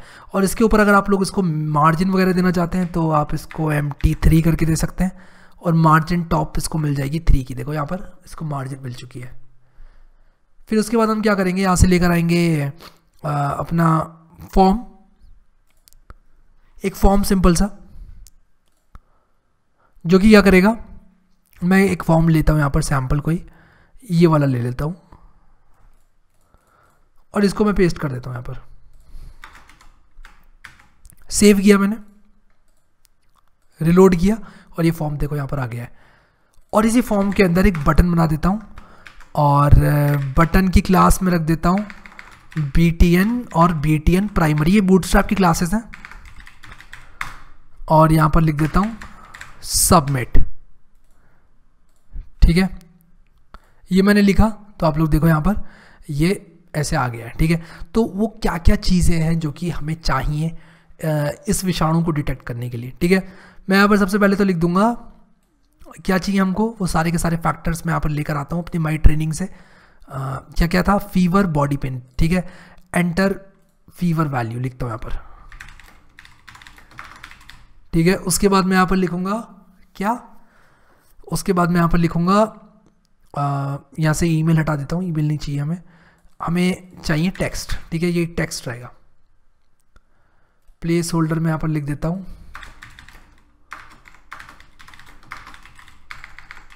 एंटर फीवर वैल्यू ठीक है? और ये फॉर्म ग्रुप हटा देता हूँ यहाँ से। सिमिलरली ये भी हटा देता हूँ। और यहाँ पर मैं ये भी हटा देता हूँ और इनफैक्ट ये हमारे काम आने वाला है, बताता हूँ क्यों? क्योंकि हमें कुछ ऐसी चीज़ चाहिए जो कि हम मल्टीपल ऑप्शन सेलेक्ट करवा सकते हैं। तो फीवर वैल्यू यहाँ पर इसको फीवर कर देता हूँ, इसकी आईडी को यहाँ भी फीवर कर देता हूँ। और इसका जो नेम है, वो भी मैं फीवर रखना चाहता हूँ। ठीक है सेव किया। सेव करने के बाद अब क्या करेंगे हम लोग? फीवर की वैल्यू हो गई। और क्या क्या चीज़ें जो कि हमें चाहिए? और हमें चाहिए body pain as runny nose ठीक है तो एज की जो वैल्यू वो भी कुछ इस तरह से आ जाएगी। तो मैं यहाँ पर लिखूँगा एज एज वैल्यू यहाँ पर एज एज लिख दिया और यहाँ पर भी एज लिख देता हूँ। और यहाँ पर एंटर योर एज लिख देता हूँ। और उसके बाद यहाँ पर लिख देता हूँ बॉडी पेन ठीक है?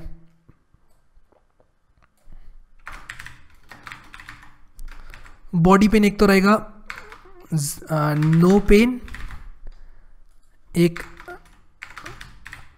मीडियम पेन एक हाई पेन ठीक है? और सीवियर कर देता हूँ उसको। सीवियर पेन ठीक है? और यहाँ पर मैं इसको भी पेन लिख देता हूँ, इसको भी पेन लिख देता हूँ। और यहाँ पर मैं लिख देता हूँ name is equal to pain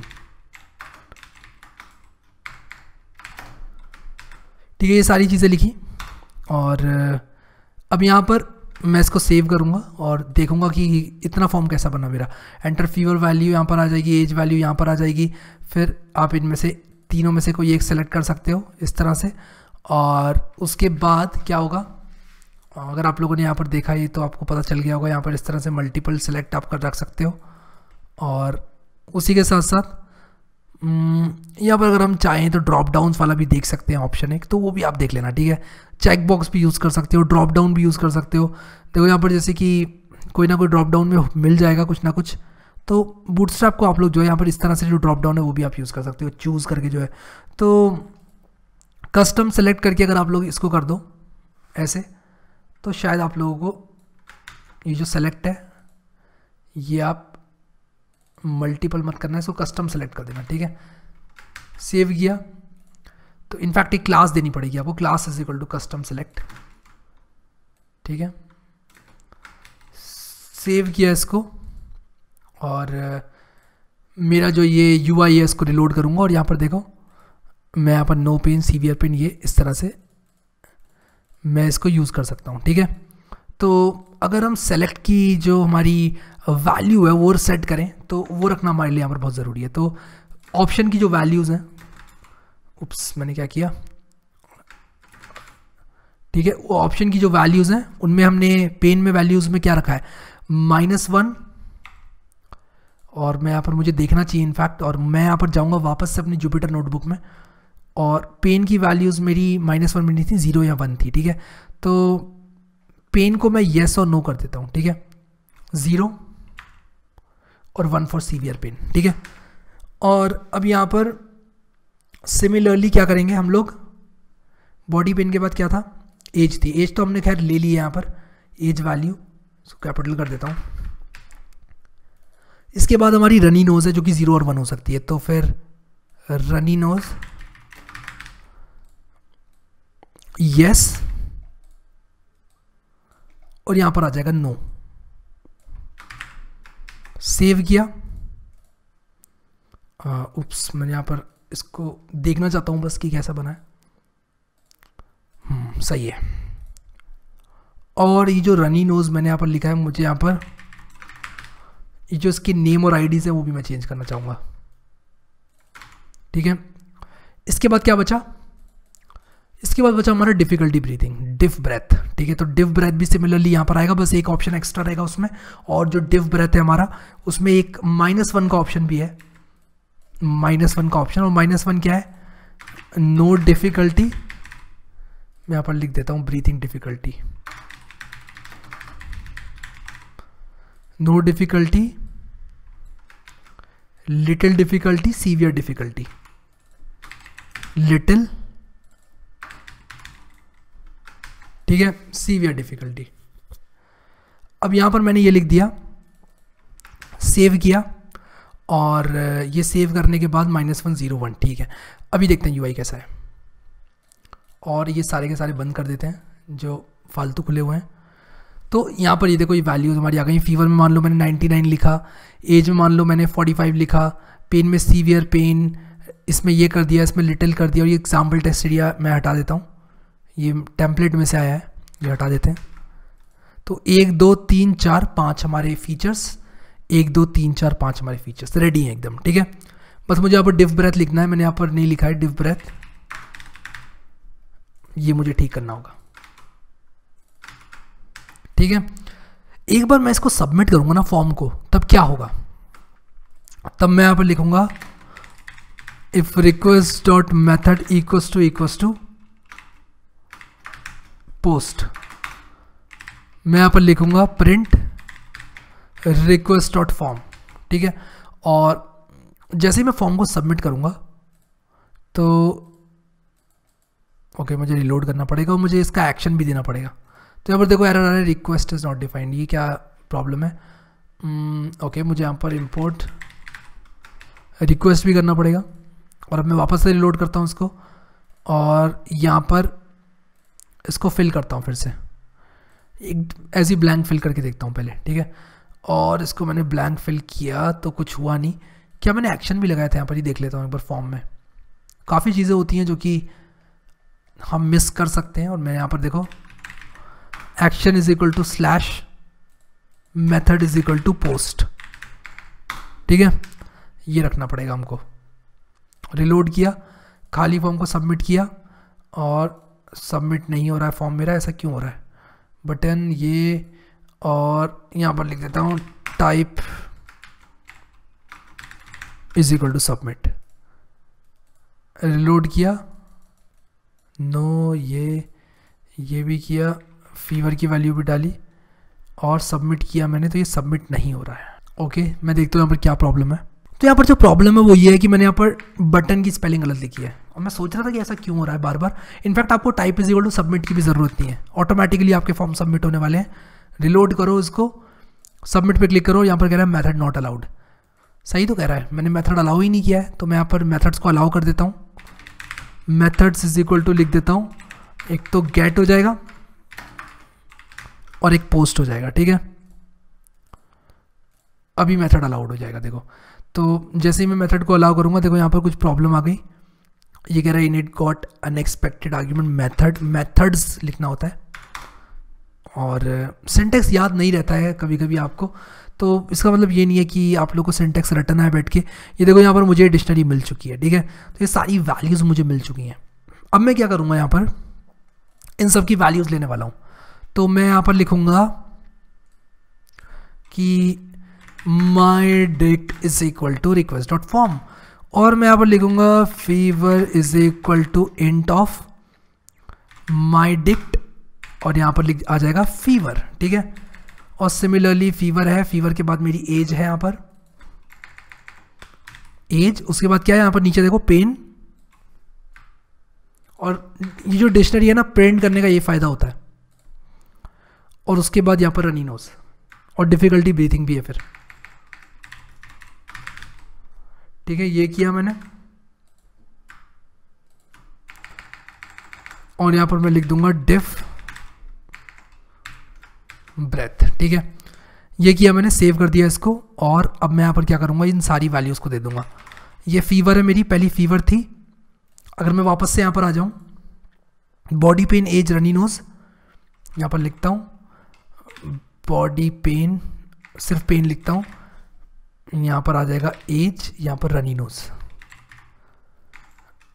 are nose आ गया। फिर डिफिकल्टी ब्रीथिंग ठीक है?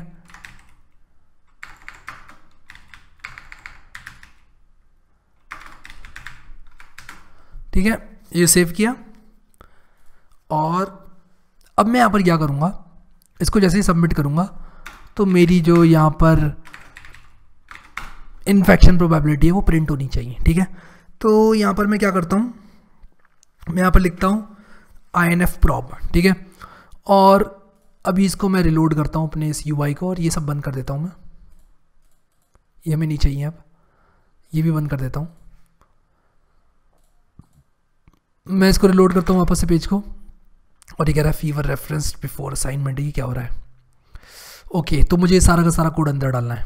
सारा का सारा कोड ऐसे डालना है। हम्म, अब चल जाएगा।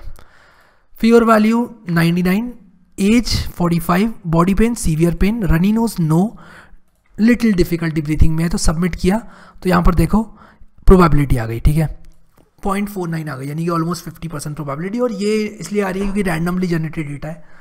तो अभी आप ये मत देखना कि ये सेंस बना रहा है डेटा की नहीं बट रियल डेटा होगा तो डेफिनेटली वो सेंस बनाएगा और वो आपको अच्छी प्रोबेबिलिटी बताकर देगा। ठीक है, अब मैं चाहूँगा कि जब ऐसा हो जाए तो मुझे पता चले मेरी इन्फेक्शन की प्रोबेबिलिटी पेशेंट की जो भी इन्फेक्शन की प्रोबेबिलिटी है वो। तो मैं यहाँ पर क्या करूँगा, एक नई टेम्पलेट बनाऊँगा show dot H T M L और वो almost index dot H T M L जैसी दिखेगी बट उसमें मैं क्या करूँगा, एक वैल्यू पास करूँगा। वो वैल्यू क्या होगी फॉर्म हटाता हूँ पहले तो। और फॉर्म हटाने के बाद मैं यहाँ पर लिखूँगा कि एक पैराग्राफ लिखूँगा और यहाँ लिखूँगा your probability of infection is या फिर पेशेंट्स लिखता हूँ यार। पेशेंट्स कोई बंदा यूज़ कर रहा है तो उसको योर योर दिखेगा, वो अच्छा नहीं लगेगा उसको। Patients probability of infection is और यहाँ पर हम क्या करेंगे? इस तरह से आई लिख देंगे और ये आई को मैं क्या करूँगा? पास करूँगा एज अ पैरामीटर ठीक है? तो मैं इसको इस तरह से पास कर सकता हूँ आई ठीक है? Is equal to I N prob ठीक है? और इसको मैं आई लिखता हूँ ये किया मैंने और मुझे यहाँ पर देखो मैंने गड़बड़ करी है यहाँ पर। मुझे क्या करना है? सबसे पहले तो show dot H T M L को सेंड करना था ये वेर, ये वेरिएबल और तब करना था जब रिक्वेस्ट डॉट मेथड पोस्ट हो ठीक है? तो देखता हूँ ये कैसा चल रहा है। सबमिट किया तो तो एरर आ रहा है एक मिनट को वैल्यूज़ डालनी पड़ेंगी, वरना एरर मिलेगा। Submit patients probability of infection is I N F तो यहाँ पर जिंजा में कैसे डालते हैं? Jinja template example with Flask और ये सारी चीज़ें जो है, अगर आप फ्लास्क और जेंगो यूज़ कर रहे हैं अलग अलग तो यहाँ पर आप लोग भूल सकते हैं इस चीज़ को। तो यहाँ पर डबल करली ब्रेस आता है एक्चुअली मुझे लगा फ्लास्क में सिंगल आता है और मैं फ्लास्क थोड़े टाइम से मैंने यूज़ नहीं किया है टू बी ऑनेस्ट और थोड़े टाइम से मैं कुछ भी यूज़ नहीं करता तो मैं भूल जाता हूँ। देखो, यहाँ पर ये यह आ गया। तो इसको आप एक काम कर सकते हो उसको थोड़ा अच्छा दिखा सकते हो। इसको अच्छा दिखाने के लिए क्या कर सकते हो आप? इसको राउंड कर सकते हो। यहाँ पे आई भेजने की ज़रूरत नहीं है। तो मैं यहाँ पर लिख दूँगा round of I N F prob और मल्टीप्लाई बाय हंड्रेड। ठीक है? अब देखना यहाँ पर कितना अच्छा दिखाएगा ये। Patients probability of infection is दिखा रहा है ठीक है? और इसके बाद मैं क्या करूँगा? गो टू होम का एक बटन बनाऊँगा यहाँ पर। यहाँ पर मैं लिखूँगा एक ए बनाऊँगा शो हम्म, में। ये बटन कॉपी कर लेता हूँ।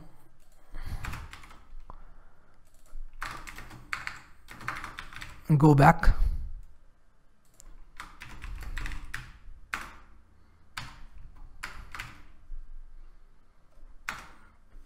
इस तरह से मैं लिखता हूँ इसको। सेव करता हूँ। रिफ्रेश किया, देखो गो बैक एक बटन आ गया तो प्रोबेबिलिटी आ जाएगी पेशेंट की, और गो बैक और यहाँ पे मैं टेक्स सेंटर नहीं करना चाहता हूँ यार, यहाँ पर इसको। टेक्स सेंटर में हटा रहा हूँ, मुझे अच्छा नहीं लग रहा टेक्स सेंटर यहाँ पर। डिज़ाइनिंग आप लोग कर लेना अपने हिसाब से, ठीक है? और यहाँ पर मैं एक और चीज़ लिख देता हूँ, एक और पैराग्राफ लिख देता हूँ। Thanks for using probability probability detector ठीक है? और उसके बाद patients probability of infection is this go back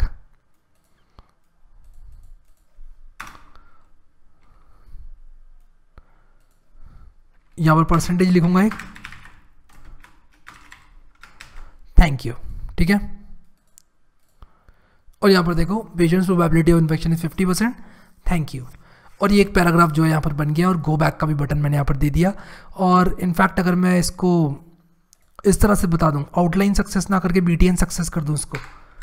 और मैं यहाँ पर भी बी सक्सेस यूज़ करना चाह रहा हूँ। मैं डिज़ाइनिंग यहाँ पर कर रहा हूँ थोड़ी सी। वो भी आप लोग कर सकते हो। मैंने रिलोड किया इसको। ये देखो गो बैक करोगे तो यहाँ पर आ जाओगे वापस से। फिर से वैल्यूज़ डाल दो। और सबमिट करो तो ये देखो thanks for using probability detector patients probability of infection is fifty percent thank you ठीक है? और यहाँ पर आप लोग जो है इस तरह से इसको यूज़ कर सकते हो। फिर बैक जाके वापस से आप लोग कर सकते हो। और ये था हमारा डिटेक्ट करने का एक ताम झाम मशीन लर्निंग की मदद से। आई होप कि आप लोगों को पसंद आया होगा। अभी आइडिया आप लोगों को कैसा लगा और आप लोग का क्या ओपिनियन है? ये क्या ग्लोबल लेवल पर इम्प्लीमेंट किया जा सकता है?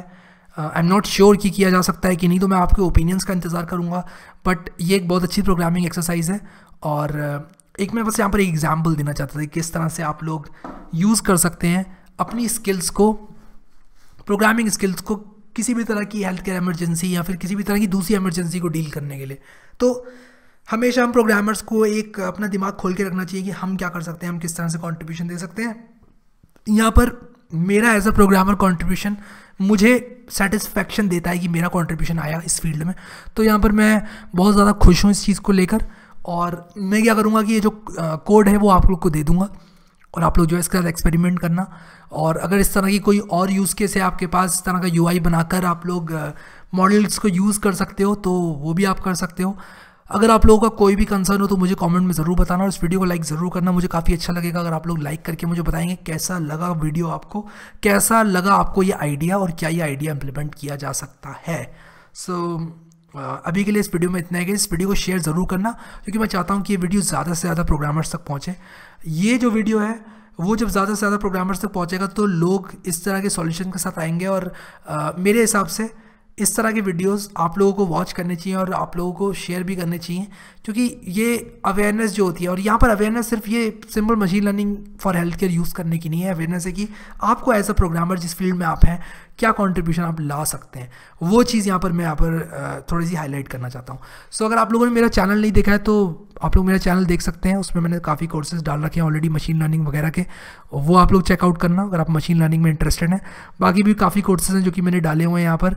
So thanks for watching this video guys first things first आप लोग सेफ़ रहें और uh, अगर आप लोगों को मेरा ये वीडियो पसंद आया और आप लोग और मशीन लर्निंग देखना चाहते हैं तो ज़रूर से आप लोग जो है मशीन लर्निंग के कोर्सेज मेरे चेकआउट कर सकते हैं।